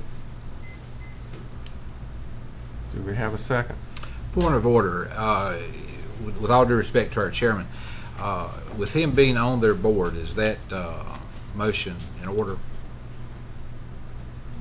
You feel? Probably, prob- prob- probably do have a problem with that. There's a direct financial link with the board that he represents. Can't say that, without doing some research, that it is uh, illegal. Well, I'm not suggesting that there is. I, I just, it'd be hard for me to be on a board and recommend fiscal appropriation for that same board. I abstain at the Social Services Board. I'm on their board, and when they vote for their budget, I abstain. Uh, When I come, I have never made, no offense, I've never made a recommendation uh, from this seat uh, to, uh, to uh, have an expenditure uh, for something that I had some influence on as far as uh, the board that I was on. I'm, I'm just questioning that. Yeah, well, what's the answer to that? There has to be a direct financial benefit to the person making the motion. Right. I think that's absent here. Right. Okay, do we have, a? is there a second to the motion? I'll second the motion. Okay, is there any, any discussion? Further Um, discussion? I, I want to say that I feel ACT is extremely important here in Alamance County. I do have a problem on the 11th hour coming and, and getting money when it just came out that we, you know, we're on a freeze on a, in a lot of areas. I'm sure you read the paper. Um, and it's, it's bothering me that Okay, I understand. I, I only wish that you had come earlier, and I'm not sure I want to forgive the twenty-five thousand, although I don't understand why you had to pick it up to start with. Somebody else's, uh, debt, which, which would bother me too. So, I'm in a confused state. Is that, is that fair to, to say that I don't like the, the, the eleventh hour that's that's um, bothersome. I feel ACT is extremely important in all areas of this county. So it's, well, who said this job was easy? I, I- that's the bottom line. That's That's, that's basically the way I feel. Uh, You know, it, we're, uh, ne- Thursday, we're, we're discussing next year's budget, and I can't support giving fifty thousand dollars to this, that past year's budget when it's so close for the fiscal year. So I'm gonna vote no. Okay, any other discussion? All in favor say aye. Aye. All opposed? No. Any you vote? I didn't. Huh. I didn't vote. I'm still trying to make that decision. It's it's. A non-vote is a yes vote. So I just, I want to tell you that. If you do not Yeah. vote, it is considered a yes vote.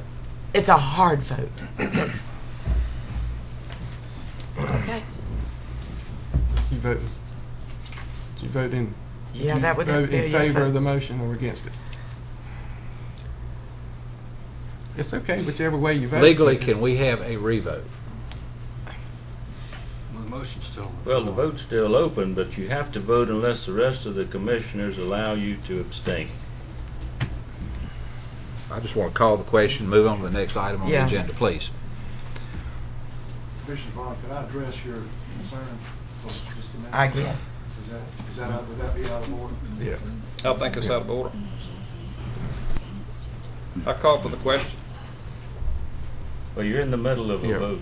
Yeah. In the middle. There is- There is a vote, and the chairman is correct. uh, If you refuse to vote, it's a yes vote. And that's the way it will be recorded. Take it that way. Okay.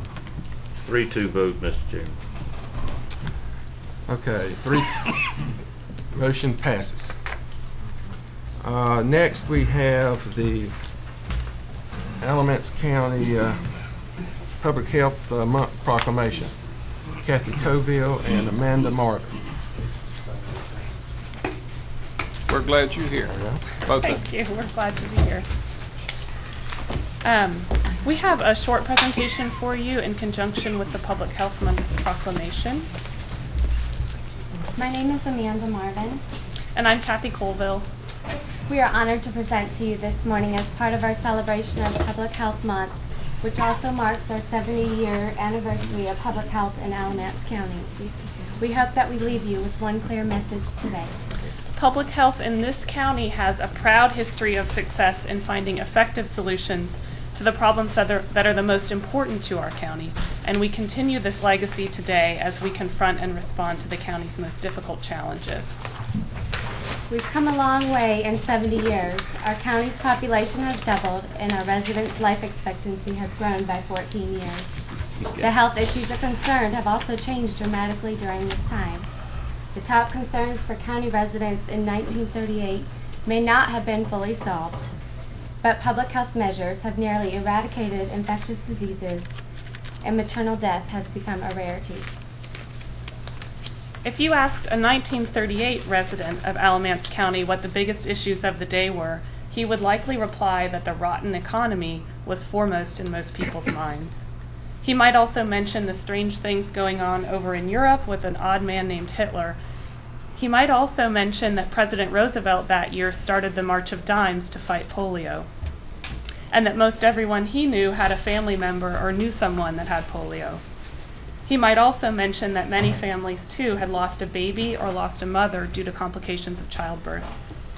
The Alamance County Health Department was founded to solve some of these most urgent needs. Community support grew for the new concept of public health because it helped provide solutions to these preventable causes of death through mass vaccination campaigns, proper sanitation, and environmental health, and through services to expectant mothers. You can see pictures up here, images of a mobile tuberculosis clinic and a lucky man in a suit and tie who's inspecting a backyard privy. Um, these illustrate the hard work of early public health in eradicating infectious diseases in our county.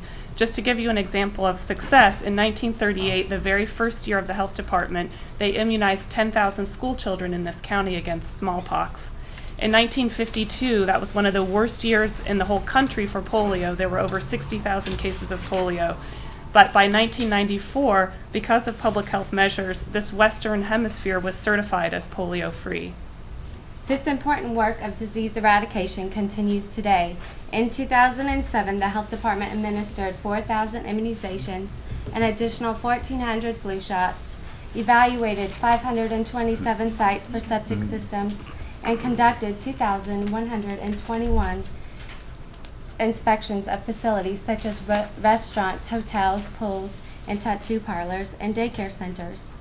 Other information about our 2007 performance indicators can be found in our annual report.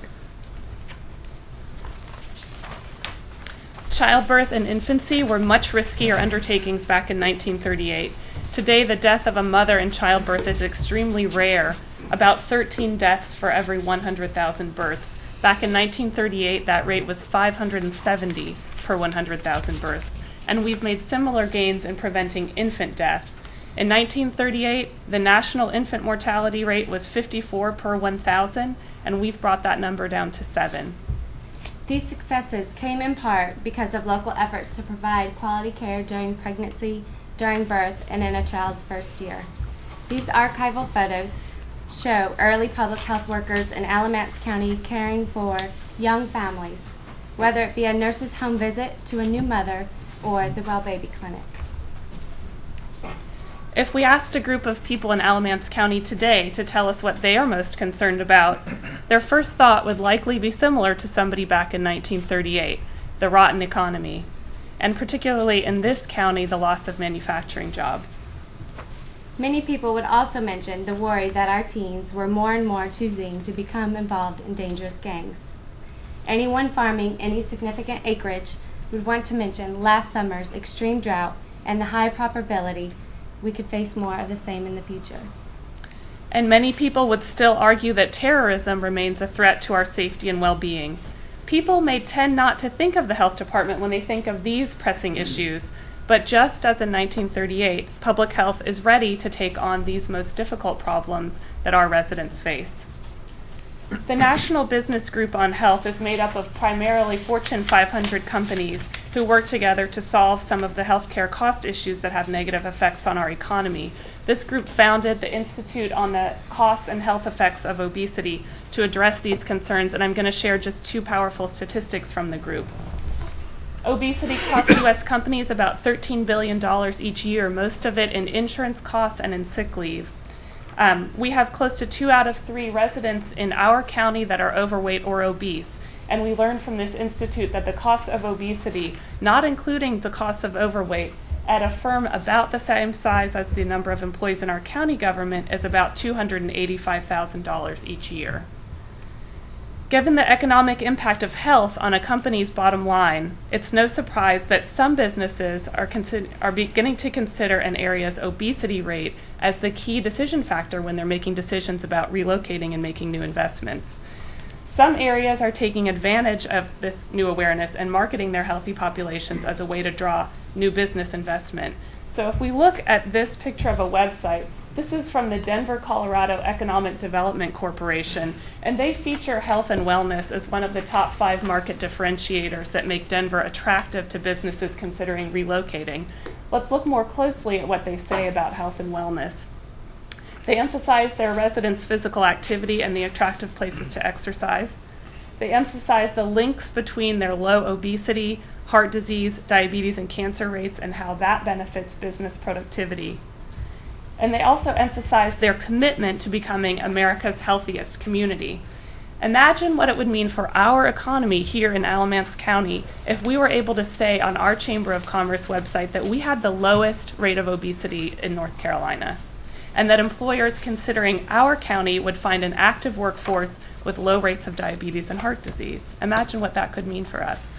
The health department is working with our partners towards that goal with grants for fitness tracks, education about nutrition, and programs that help people make exercise a habit. Last year, teams from local businesses logged over 300,000 miles of walking in the Alamance Moves Community Challenge. Clearly, the economy is a perennial issue of concern for our residents. In recent years, a newer concern has emerged that far too many kids are attracted to membership in gangs. We know the consequences of gangs. We see more juvenile crime, failing grades, getting suspended, and dropping out. And kids feeling pressure to try things like drugs, alcohol, and early sexual, sexual activity. Since 2003, the Health Department has been working with the Juvenile Crime Prevention Council and the school system to help young people make better decisions about their futures. About 400 students who participate in the Teen Outreach or the TOP program have shown they do take the lessons of TOP and change their behavior. The teen pregnancy, recidivism, and school suspension rates among TOP participants are all significantly lower than those that do not benefit from TOP. Public health is helping our young people make healthy decisions at a critical age, decisions that can easily affect the rest of their lives.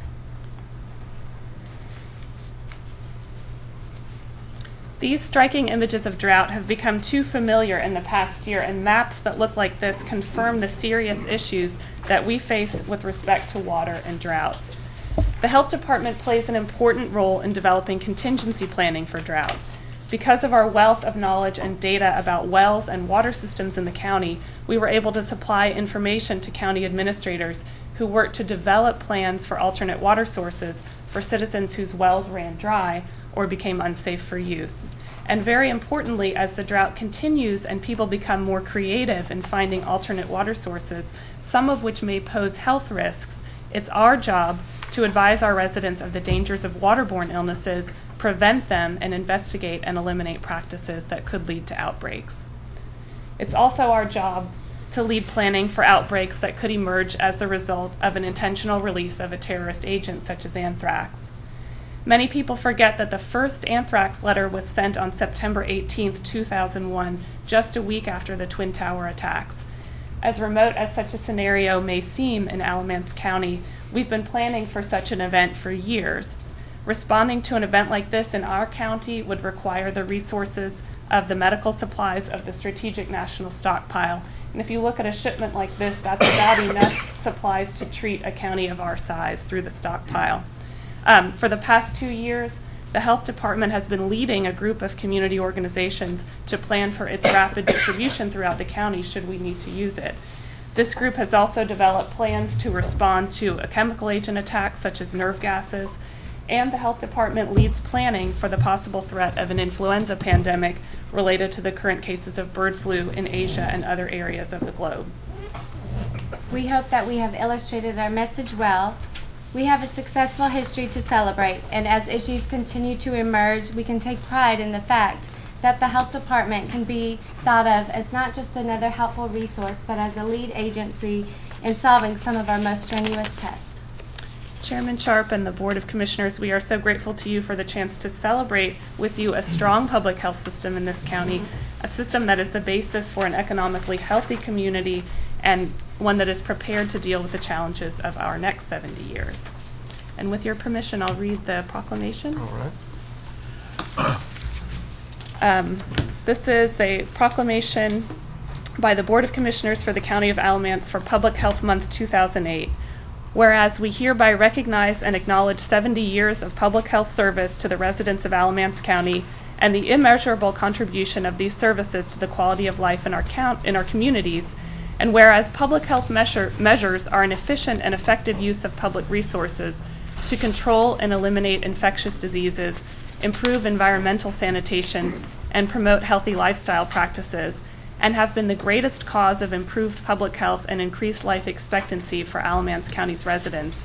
And whereas the Alamance County Board of Health exercises its critical duties of oversight and policy development to assure the protection and improvement of the public's health. And whereas the Alamance County Health Department performs over 2,000 restaurant inspections each year to protect the public from disease, and annually contributes over $2.7 million to our local economy through the WIC nutrition program for young families, and in 2007 served 2,761 children with dental care who may not otherwise afford it. And whereas a continued focus on prevention has tangible economic benefits for taxpayers, in that a dollar spent on family planning efforts saves $3 in public costs, each dollar invested in childhood immunization saves $27 that would otherwise be used for treatment, and every dollar spent on a child safety seat saves $32 in direct medical costs and other costs to society. And whereas the Alamance County Health Department continues to monitor emerging threats to the public safety and health, particularly with respect to the threat of terrorist sponsored attacks on North Carolina, and is a leading component of the county's emergency response capacity. Now, therefore, we, the Board of Commissioners for the County of Alamance, do hereby proclaim April 2008 as Public Health Month in Alamance County and urge our citizens to recognize that public health is working to ensure that all residents of Alamance County are protected from such formidable threats as influenza, foodborne disease, and cardiovascular disease, in witness whereof I have hereunto set my hand in Alamance County, North Carolina, this seventh day of April in the year of our Lord 2008. Thank you. Thank you We so appreciate much. y'all coming. Thank you so much. Enjoy the. We appreciate it too. Kathy and Amanda, you did an excellent job in the presentation.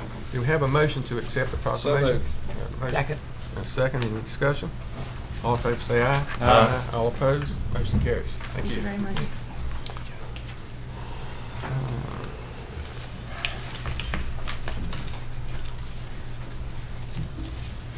Next, uh, some information on uh, a movement in, in, it's taking place in Washington, uh, giving our public uh, safety employees the right uh, for mandatory collective bargaining. Uh, Found out about this uh, when I attended a legislature, a legislative conference uh, about a month ago. And uh, I really hadn't been aware of this uh, issue until then. But uh, it's already passed the House, the U.S. House overwhelmingly. And it's now in the Senate. And, um, and the reason that it's uh, moving along at, at fast break speed is that uh, 35 states already have some form of collective bargaining for their public service employees. So uh, it's uh, because of that, it's, it's receiving uh, a bipartisan support in Washington. Um, NACO and our state association is doing what they can to uh, to fight this. And in Washington, um, Senator Dole had agreed to vote for cloture if, uh, if, if this issue was going to be filibustered, which means if, if cloture, uh, they uh, don't enact cloture, then a simple majority would uh, pass the uh, vote. Uh, she was kind of bombarded by county commissioners on her stance while we were there, and in, in fact reversed her position and and uh, told us that she would not vote for cloture. Uh, so hopefully this will stall out in the Senate, but uh, if not, it could be very expensive for Alamance County and uh, a lot of other counties. And uh, because it would uh, grant federal oversight, regardless if a state had passed collective bargaining previously or a county, then they would have their authority upserted by this this law if it takes effect. So uh, I just wanted to make the board aware of it. Uh, I understand this may uh, uh, take traction in Raleigh also. So Uh, The state association is going to be following that very closely, and if, if necessary, we need, we'll probably come back, they'll probably ask the counties for some type of resolution opposing such legislation, but um, I just uh, basically uh, gave you a couple of fact sheets on it uh, at your uh, desk, and this, this is just for general information, no action today, but just to let you know what's going on. But both of our senators uh, have now agreed to oppose, oppose this legislation, so uh, I don't think we need to, to send anything to them. As uh, previously stated, it's already passed the House, so uh, that's, that's already gone. So- Did Howard Coble support it, or? I'm not certain. Uh, I didn't check his vote on that, Tim. Okay, next is the sole source, uh, sole source purchase of voting, uh, receiver system. Tim, first. Uh, Mr. Chairman, members of the board, good morning. Uh, As you recall, back on December the 3rd of uh, last year, that this board approved the conversion over to the 800 megahertz system. Um, And a part of that conversion was going, is going to be uh, upgrading the sheriff's department's VHF system, which is the current system that they use. The reason we're looking at upgrading that is um, really two reasons. One is that um, they have poor coverage in certain parts of the county where they get a handheld out there and they try to call back to CCOM or even try to uh, contact another deputy. They're, they don't have any coverage. They get in some parts of the county and they don't have any coverage. Um, once the convert over to the 800 system, of course, that's going to be taken care of. But the VHF system is still going to be maintained as a backup or a redundant system for the 800 system in case the 800 system is ever down. What we're looking at as far as upgrading the VHF system, we're only going to upgrade the main channel. We're not going to upgrade all of their channels, but the main channel they talk on. Um, as I mentioned, this will be used as a backup or redundant system to the 800 system once we uh, convert over to that. Um, the reason we're wanting this to bring this uh, information to you now is it's probably going to be about a year before we convert over to the 800 system. We want to go ahead and get the VH VHF system for the sheriff's department upgraded now, um, so that they can go ahead and, and have that good coverage now. It'll probably take about 60 days if y'all do approve that this today for us to um, get that uh, system upgraded. Um, the the reason we're before you today is because um, we're requesting that uh, you award this upgrade to Commonwealth Radio Services, a Motorola provider, in the amount of $133,420 under the sole source statute. In order to be able to award this under the sole source statute, we have to come before you and get your approval. Uh, General Statute 143-129E allows an exemption from the bidding requirements for sole source purchases when standardization or compa- compatibility is the overriding consideration. Normally, you would have to put this out to bid because all of this equipment is not under state contract. Um, But we do have the ability to do this as a sole source project, which means we do not have to go out to bid.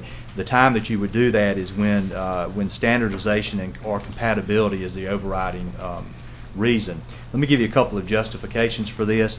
Um, There were pr- two previous upgrades in Alamance County. One was to the fire department's VHF system, which was a similar upgrade to what we're proposing to do to the sheriff's department. That was done in 1999. In 2006, the EMS's VHF system was upgraded, similar to what we're looking at doing now. They, those, both of those upgrades were performed by Commonwealth Radio Services with Motorola equipment. Part of the existing equipment that will be be upgraded is Motorola equipment, and that's what they will be using is Motorola equipment to upgrade some existing Motorola, Motorola equipment. Some of the equipment that's used by um, the sheriff's department is GE equipment. Um, and then Commonwealth Radio Services has designed and currently maintains the existing system. So those are the justifications and the overriding factors why we would like to go to sole source on this because they're really the only provider that we see that can provide what we're looking at.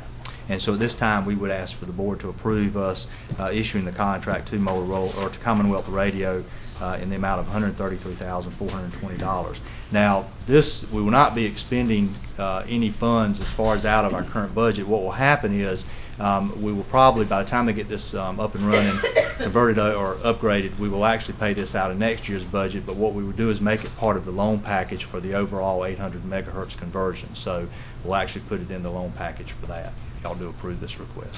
What's the status of that uh, application for Viper? Um, The, where we're at in the process as far as the conversion. Well, the money, the money situation. Oh, where we're at in the process, um, the tower, uh, the AO tower, which is the last Viper tower in Alamance County, it's supposed to be up and running about the middle of May. Once that's up and running, then we'll finish our testing to see what kind of coverage we have in the county. Because if that tower, which we anticipate that tower is going to give us the coverage we need, if it doesn't and we have to do some additional upgrades, then that'll have to be part of the equipment that we order. So we really can't get a final pricing on the equipment until we finish our testing, which we anticipate having a final pricing in around July 1st. Um, we'll send out um, uh, we'll send out our bid packet to the banks probably sometime in June, and then we'll be bringing that information back to this board to approve the loan um, sometime uh, I think in July maybe is what Are we're we looking not at. going to be able to seek any grants or? We're working on that also. Very little out there. Um, we have um, we have approached both of our congressional delegation uh, about getting some money appropriated from the federal government. Um, we have approached them, have put in a request to them. Uh, we have applied for some grants, have not had much success. My understanding is that the Homeland Security money is pretty much dried up, so that money is not available. The fire departments have been applying for Fire Act grants, my understanding, and some of the municipalities, as far as the police departments, um, or have a, maybe are, are looking or have looked at applying. I have met with the sheriff's department as far as on them applying for some law enforcement grants they're still trying to monitor those because at the time we met, there weren't a whole lot of grants out there, even for law enforcement, for the 800 system. But they're continuing to monitor those, and if any grants do become available, they'll apply for those, of course. I think the chairman has some information on possible assistance with that. I went to uh, Washington last uh, Wednesday with uh, some members of the airport authority. Um, they're seeking uh, an earmark for the runway extension of two and a half million dollars. And uh, I took the opportunity uh, to uh, state the county's need for some uh, funding to help with the 800 megahertz uh, system. And, and two of the congressmen we met with was Representative Coble and Representative Miller. And um, as Tim mentioned, we had spoken to them earlier about trying to get an earmark for us in, in this uh, next year's budget. And uh, Representative Miller's office is uh, more or less spearheading that effort uh, with the paperwork and so forth. And uh, we met with him and, and Mr. Coble personally, and uh, Representative Miller stated that he was very hopeful that our request of half a million dollars uh, would, would, would make it through the appropriations process. And uh, Representative Coble's office and staff is very supportive in working closely with uh, Mr. Miller. So, um, you know, I came away with a positive feeling after meeting with both of, both of our congressmen. So hopefully that will take place. But neither one of them are on appropriations committee. Uh, Representative Price, uh, our neighbor, uh, is on that committee, and uh, they're going to make contacts with him, uh, stating their case before there. So hopefully we'll get a small amount of the total cost, but anything would be helpful. That's right. And the reason we asked for 500000 is after meeting with um, Representative Miller's office, they indicated that's the dollar amount that we should request. And so that's, that's why we didn't request the whole amount, but the 500000 Okay. Now, when, when would this appa- impact the budget? Well, what we would do is, um, it'll take them about sixty days. They will not bill us until after July the first on this. Um, but what we will do is actually, we make, we'll go ahead and pay the bill, but then we'll actually make this part of our loan package for the eight hundred system. So we'll kind of reimburse our, uh, our monies with the loan for this project. So we'll go ahead and, and have to pay the bill, of course, in July. But, uh, but this, because we won't be actually borrowing the funds until, um, probably, as far as for the rest of the system, until, I don't know, around first of the year or later, um, sometime in that time frame. Um, Depends on when we order equipment and when we have to start paying the bills on the equipment itself. On this, though, we will, um, uh, we'll actually repay ourselves from the loan proceeds, um, once that's, uh, once we secure the loan. But the, the loan itself, uh, would that impact the 2010 budget? Is that well, it'll impact, we've put a little bit in for next year because um, we look at about half of the year having to pay back uh, the loan. And so um, we've, uh, we've, we've put into the budget about half of what we would normally be paying back in principal and interest for a loan. We've put that in next year's budget. Um, So that's, that's what we've, are looking at putting in next year's budget. Okay. First full payment would be in the uh, 2010 budget, yes. With partial payment next year, that's correct. Do we have a motion? I move that we go ahead and act on this. Second. We have a motion and second. Is there any further discussion? All in favor say aye. Aye. All opposed? Motion carries. Okay, thank you for your time. Next is Budget Amendment 134 for the Health Department. Mr. Green? Morning, Mr. Chairman and Commissioners. Thank you for the opportunity to present this budget amendment number 134 involving 100% state funds in the amount of $37,290. This allocation in family planning funds was calculated based on our increase in patient caseload. These funds would be utilized in our current year's budget in women's health program. And thank you for your consideration of this budget amendment. Okay. Have a motion? It's a motion. Does- Is there a second? Second. Any discussion? All in favor say aye. Aye. All opposed? Motion carries. Thank you. Thank Thank you, you. Mr. Manager? Yes, sir. Uh, Mr. Chairman, I have several things this morning. First of all, uh, Commissioners, I hope you remember that we are taking your picture immediately following the, uh, the meeting. Um, Tomorrow morning, I want to remind you of your breakfast uh, meeting with the uh, school board. And uh, then Thursday will be the um, budget retreat across the street. It starts at 9, uh, 9 a.m. and I have your information packet here. Now, any and everything you may need to know concerning In the end, budget, don't tax call me. budget, whatever, is in here. If you have any questions, if you have any problem with finding the information and and that may be true, just call us before Thursday. We'll try to clarify everything for you. I remember the school board meetings at eight o'clock in the morning. Now, there are two um, matters I want to uh, bring up uh, informative wise and to try to clarify. One, uh, on um, March the 26th, I was made aware of a situation where some hazardous material was located in Alamance County, and there's some question as to the amount and whether they, um, there was a problem with the amount that was in Alamance County, so we started at that time in a rather uh, complete effort, I think, to um, educate ourselves on the issue and to try to diffuse any problem. Let me emphasize from the very beginning, there was never any danger to the citizens of Alamance County. There was a possibility that if this was a large amount, which we, uh, the inspection showed that it was, uh, then it could be a potential danger, but there was never any danger. So we did our investigation, we contacted the state, we called Homeland Security in Washington DC, everybody was notified. Uh, and the issue uh, would have remained uh, an issue that the county took care of like we would in the regular course of business, but it got out into the public some way.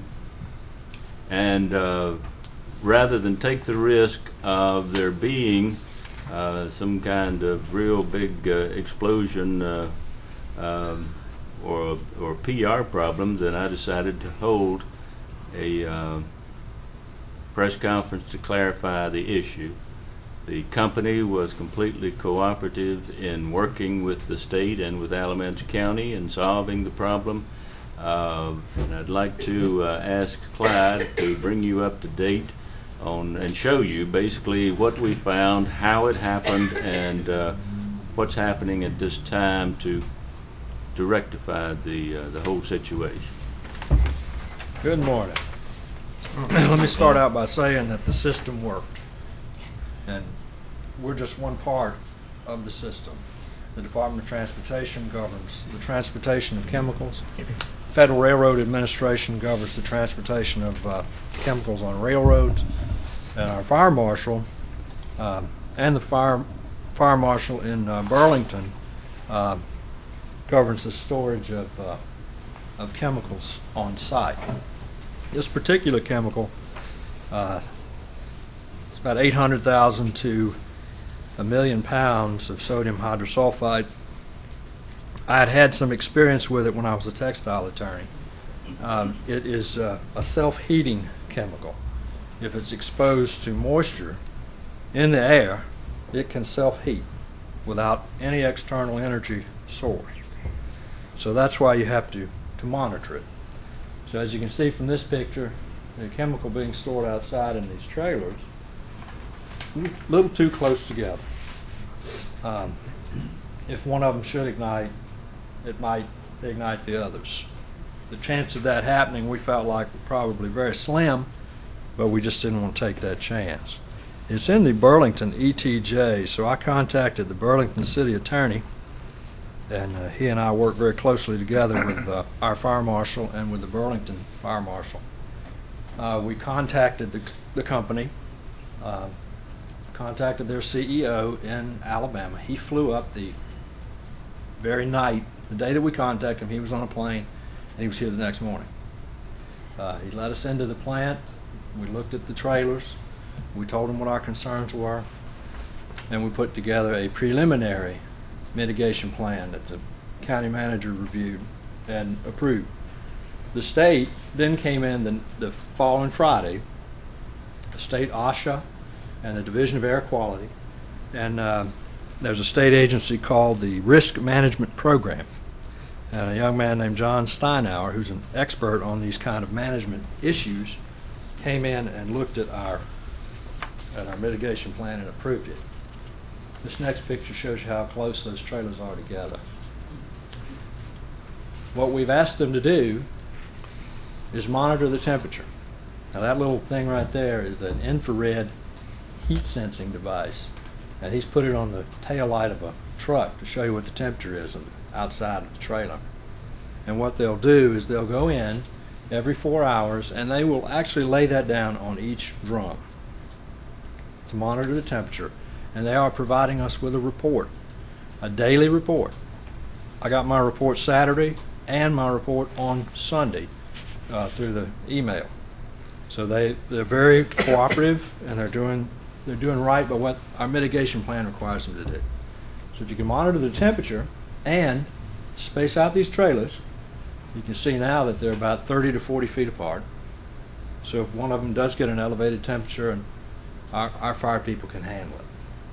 So we're not talking about a tremendous plume of sodium dioxide gas. We're talking about something now we can handle. There's another picture of the trailer space. Now remember, we didn't have to threaten litigation. All we told them was what our concerns were, and this company uh, did what we asked them to do. Here's the inside of the trailer. Each drum has a metal ring around it and a airtight, watertight seal. The chemical is a powder that fits inside those little drums and uh, in a polyethylene bag that is tied up so it is not subjected to moisture, any kind of moisture. And what he's doing, he's going in there and he's going to check the temperature of each one of those drums, and he does that every four hours. Now, he's got a waterproof tarp that's inside a trailer. Uh, they call it a light test. They go in and look.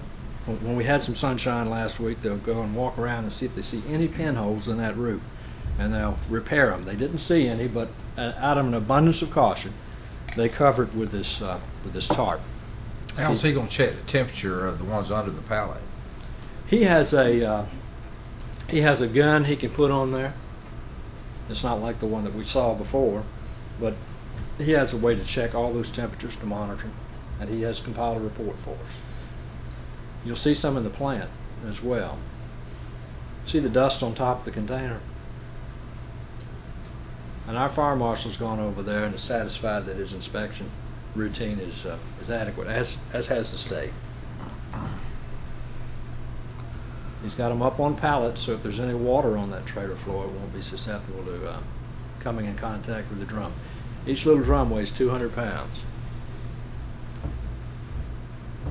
Here he's uh, he's wrapped some to get ready to put them on a lift truck to take them into the plant to be processed. This chemical is used to uh, cut other chemicals to reduce dyes to reduce uh, solvents. Well, that's not very good, clear picture, but our, our county inspector, Alva Sizemore, is right in the middle, and uh, he, he's checking some temperatures too. This is inside the plant. They're stacked three high on pallets.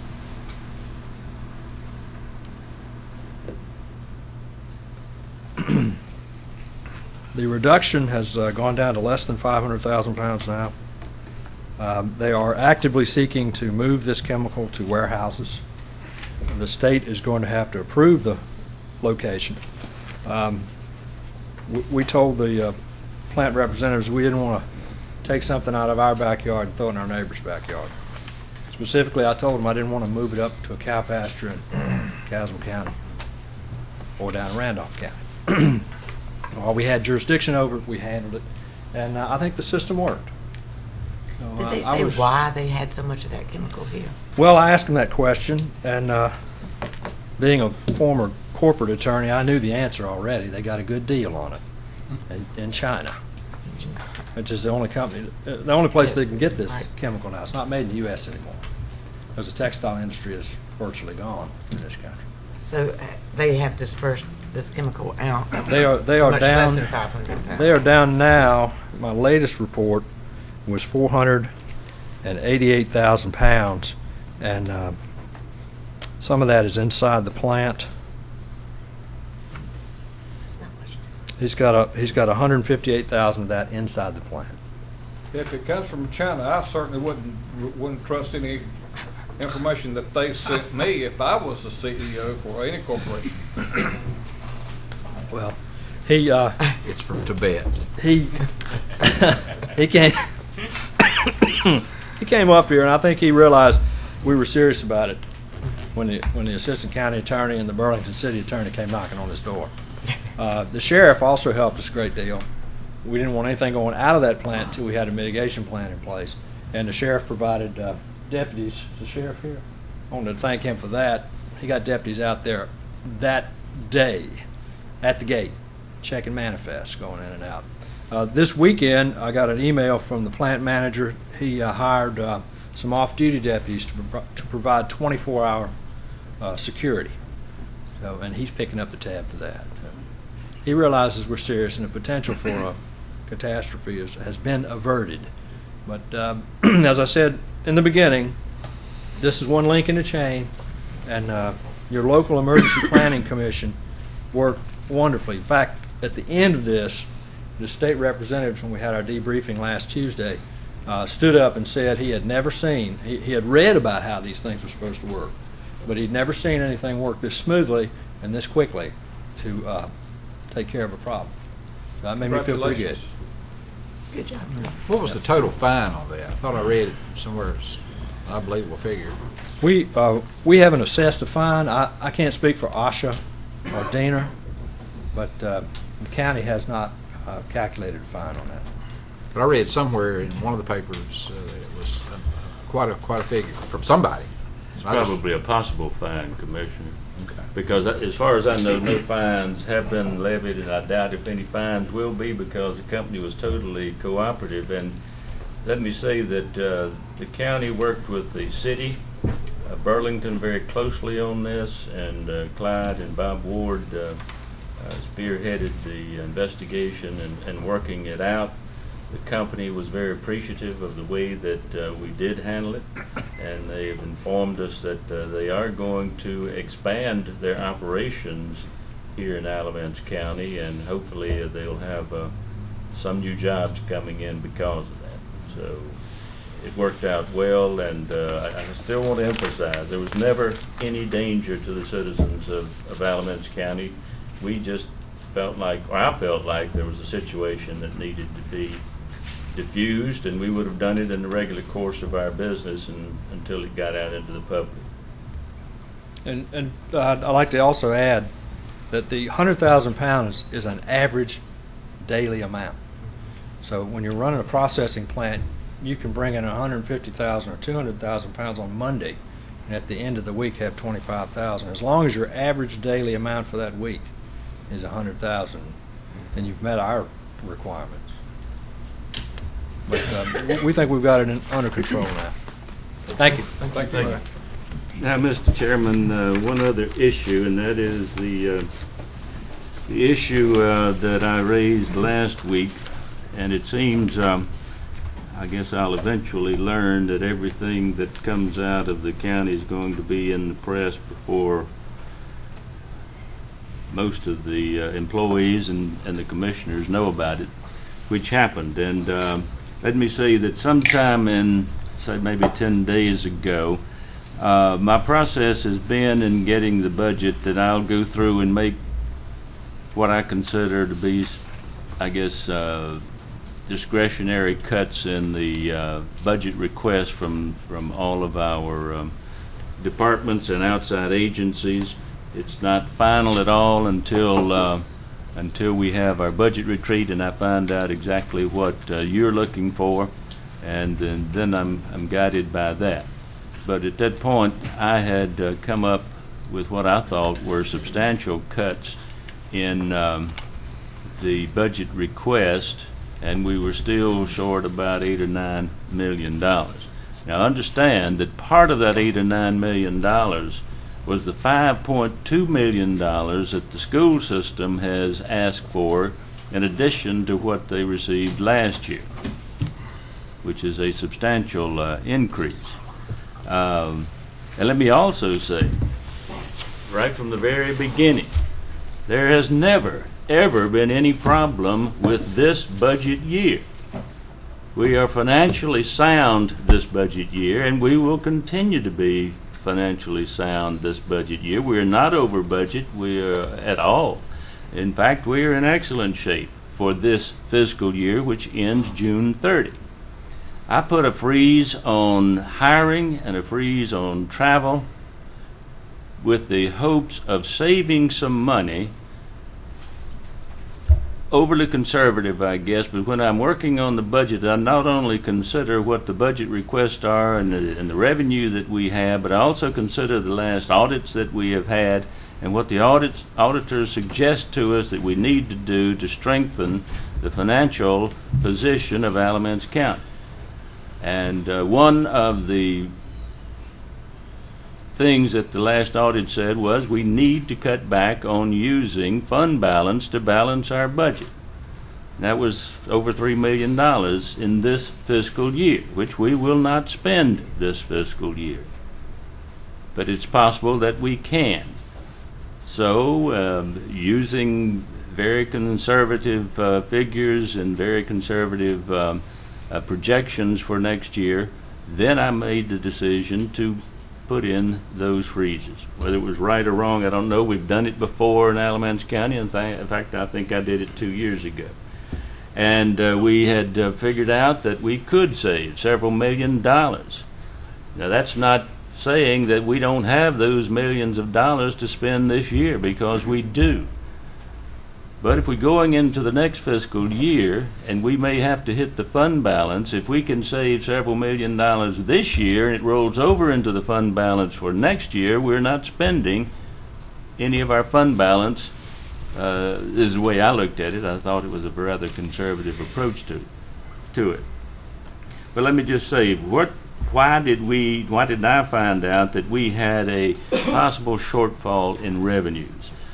One of the main reasons, one of the things that came up uh, that uh, I was aware of, but I guess maybe I had forgotten, and that is when you're on an eight-year reval uh, program like Alamance County is, every four years, the state allows the utility companies to take a large uh, write-down or depreciation write-down, which is going to cost us in revenue.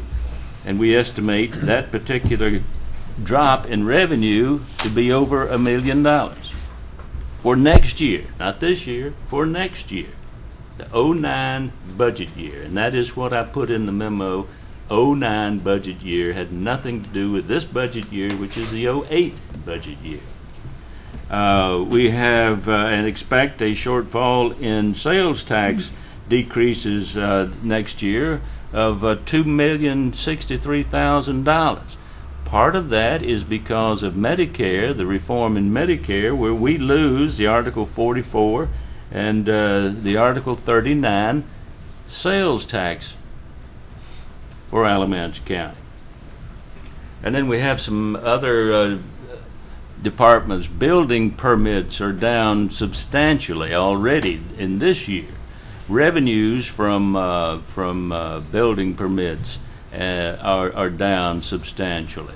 Uh, probably another five hundred thousand dollars.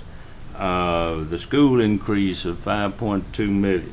Now, let me emphasize to you the the county departments are holding their own, and they have have done well. And every time we have budget cuts and things like that, it always hits our county departments, and it hits them, and we continue to keep cutting. The increases always come from the outside agencies. So the county departments are, are carrying their burden, and the county departments are, are being responsive to to the demands that I've put on them, and I appreciate that. But please understand, um, the memo went out to you at the same time that it went out to the department heads uh, by email, and uh, I felt it was it needed to go out right away so that we'd have three full months of uh, of saving on uh, some of the freezes that we institute. if I were wrong, then I'm you know I certainly apologize to the commissioners, but I think we can save uh, some money, and it'll just hopefully keep the county a little. um in better financial condition.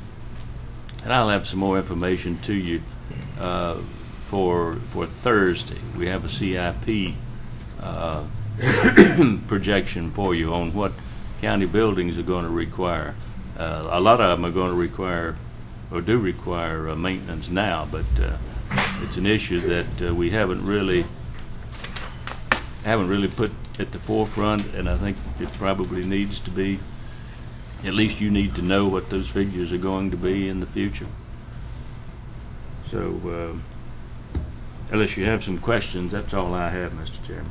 Judge, uh, you've gone from five to seven million, and then you mentioned a figure of eight to nine, but actually what you're saying, and for clar- clarification, is that from the request of the department heads and the uh, other various entities that you've had in regards to the budget, and uh, where we're sitting at is there's a there's a eight to nine million differential, and that that's something we'll be working on when we sit down at the budget retreat this week. Is that correct? That's exactly right. And, Thank and- you.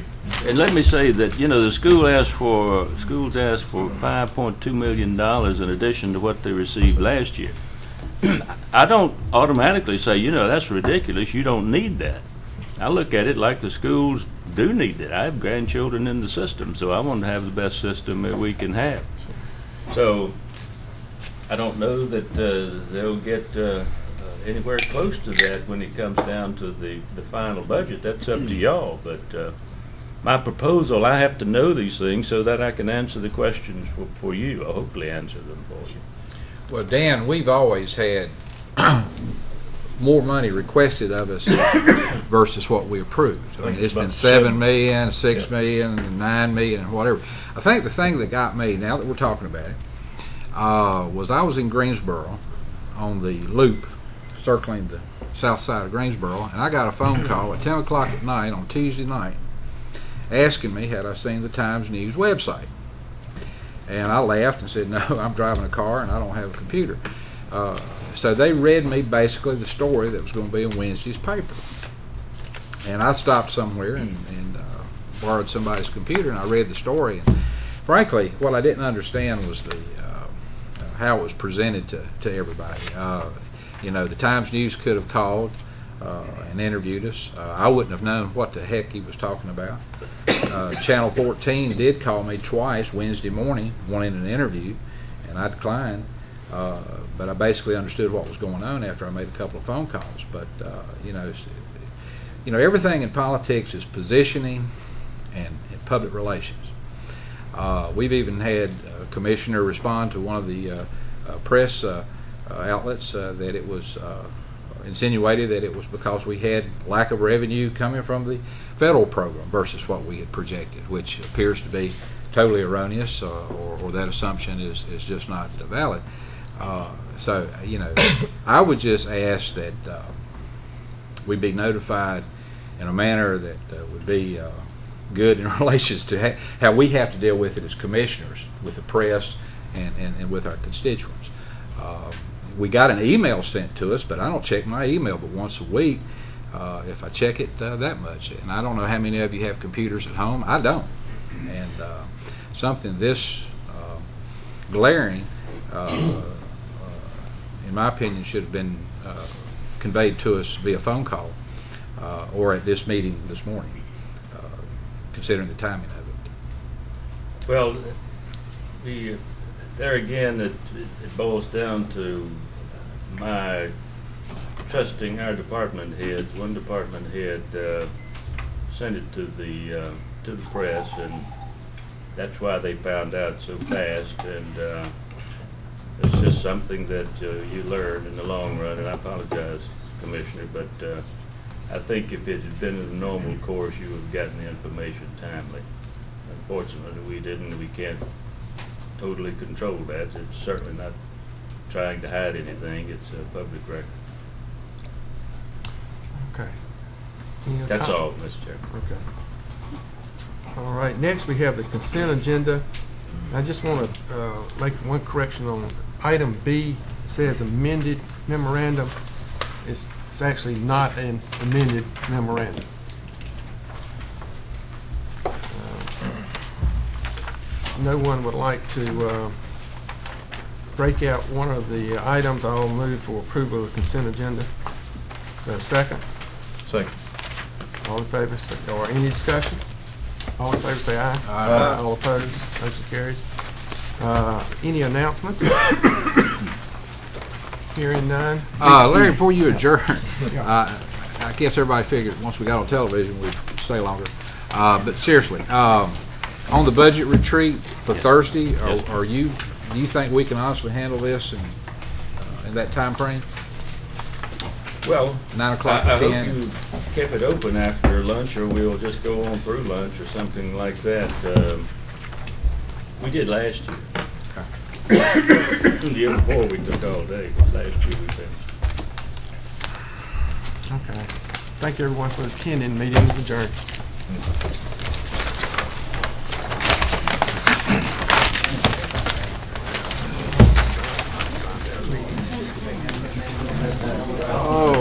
How did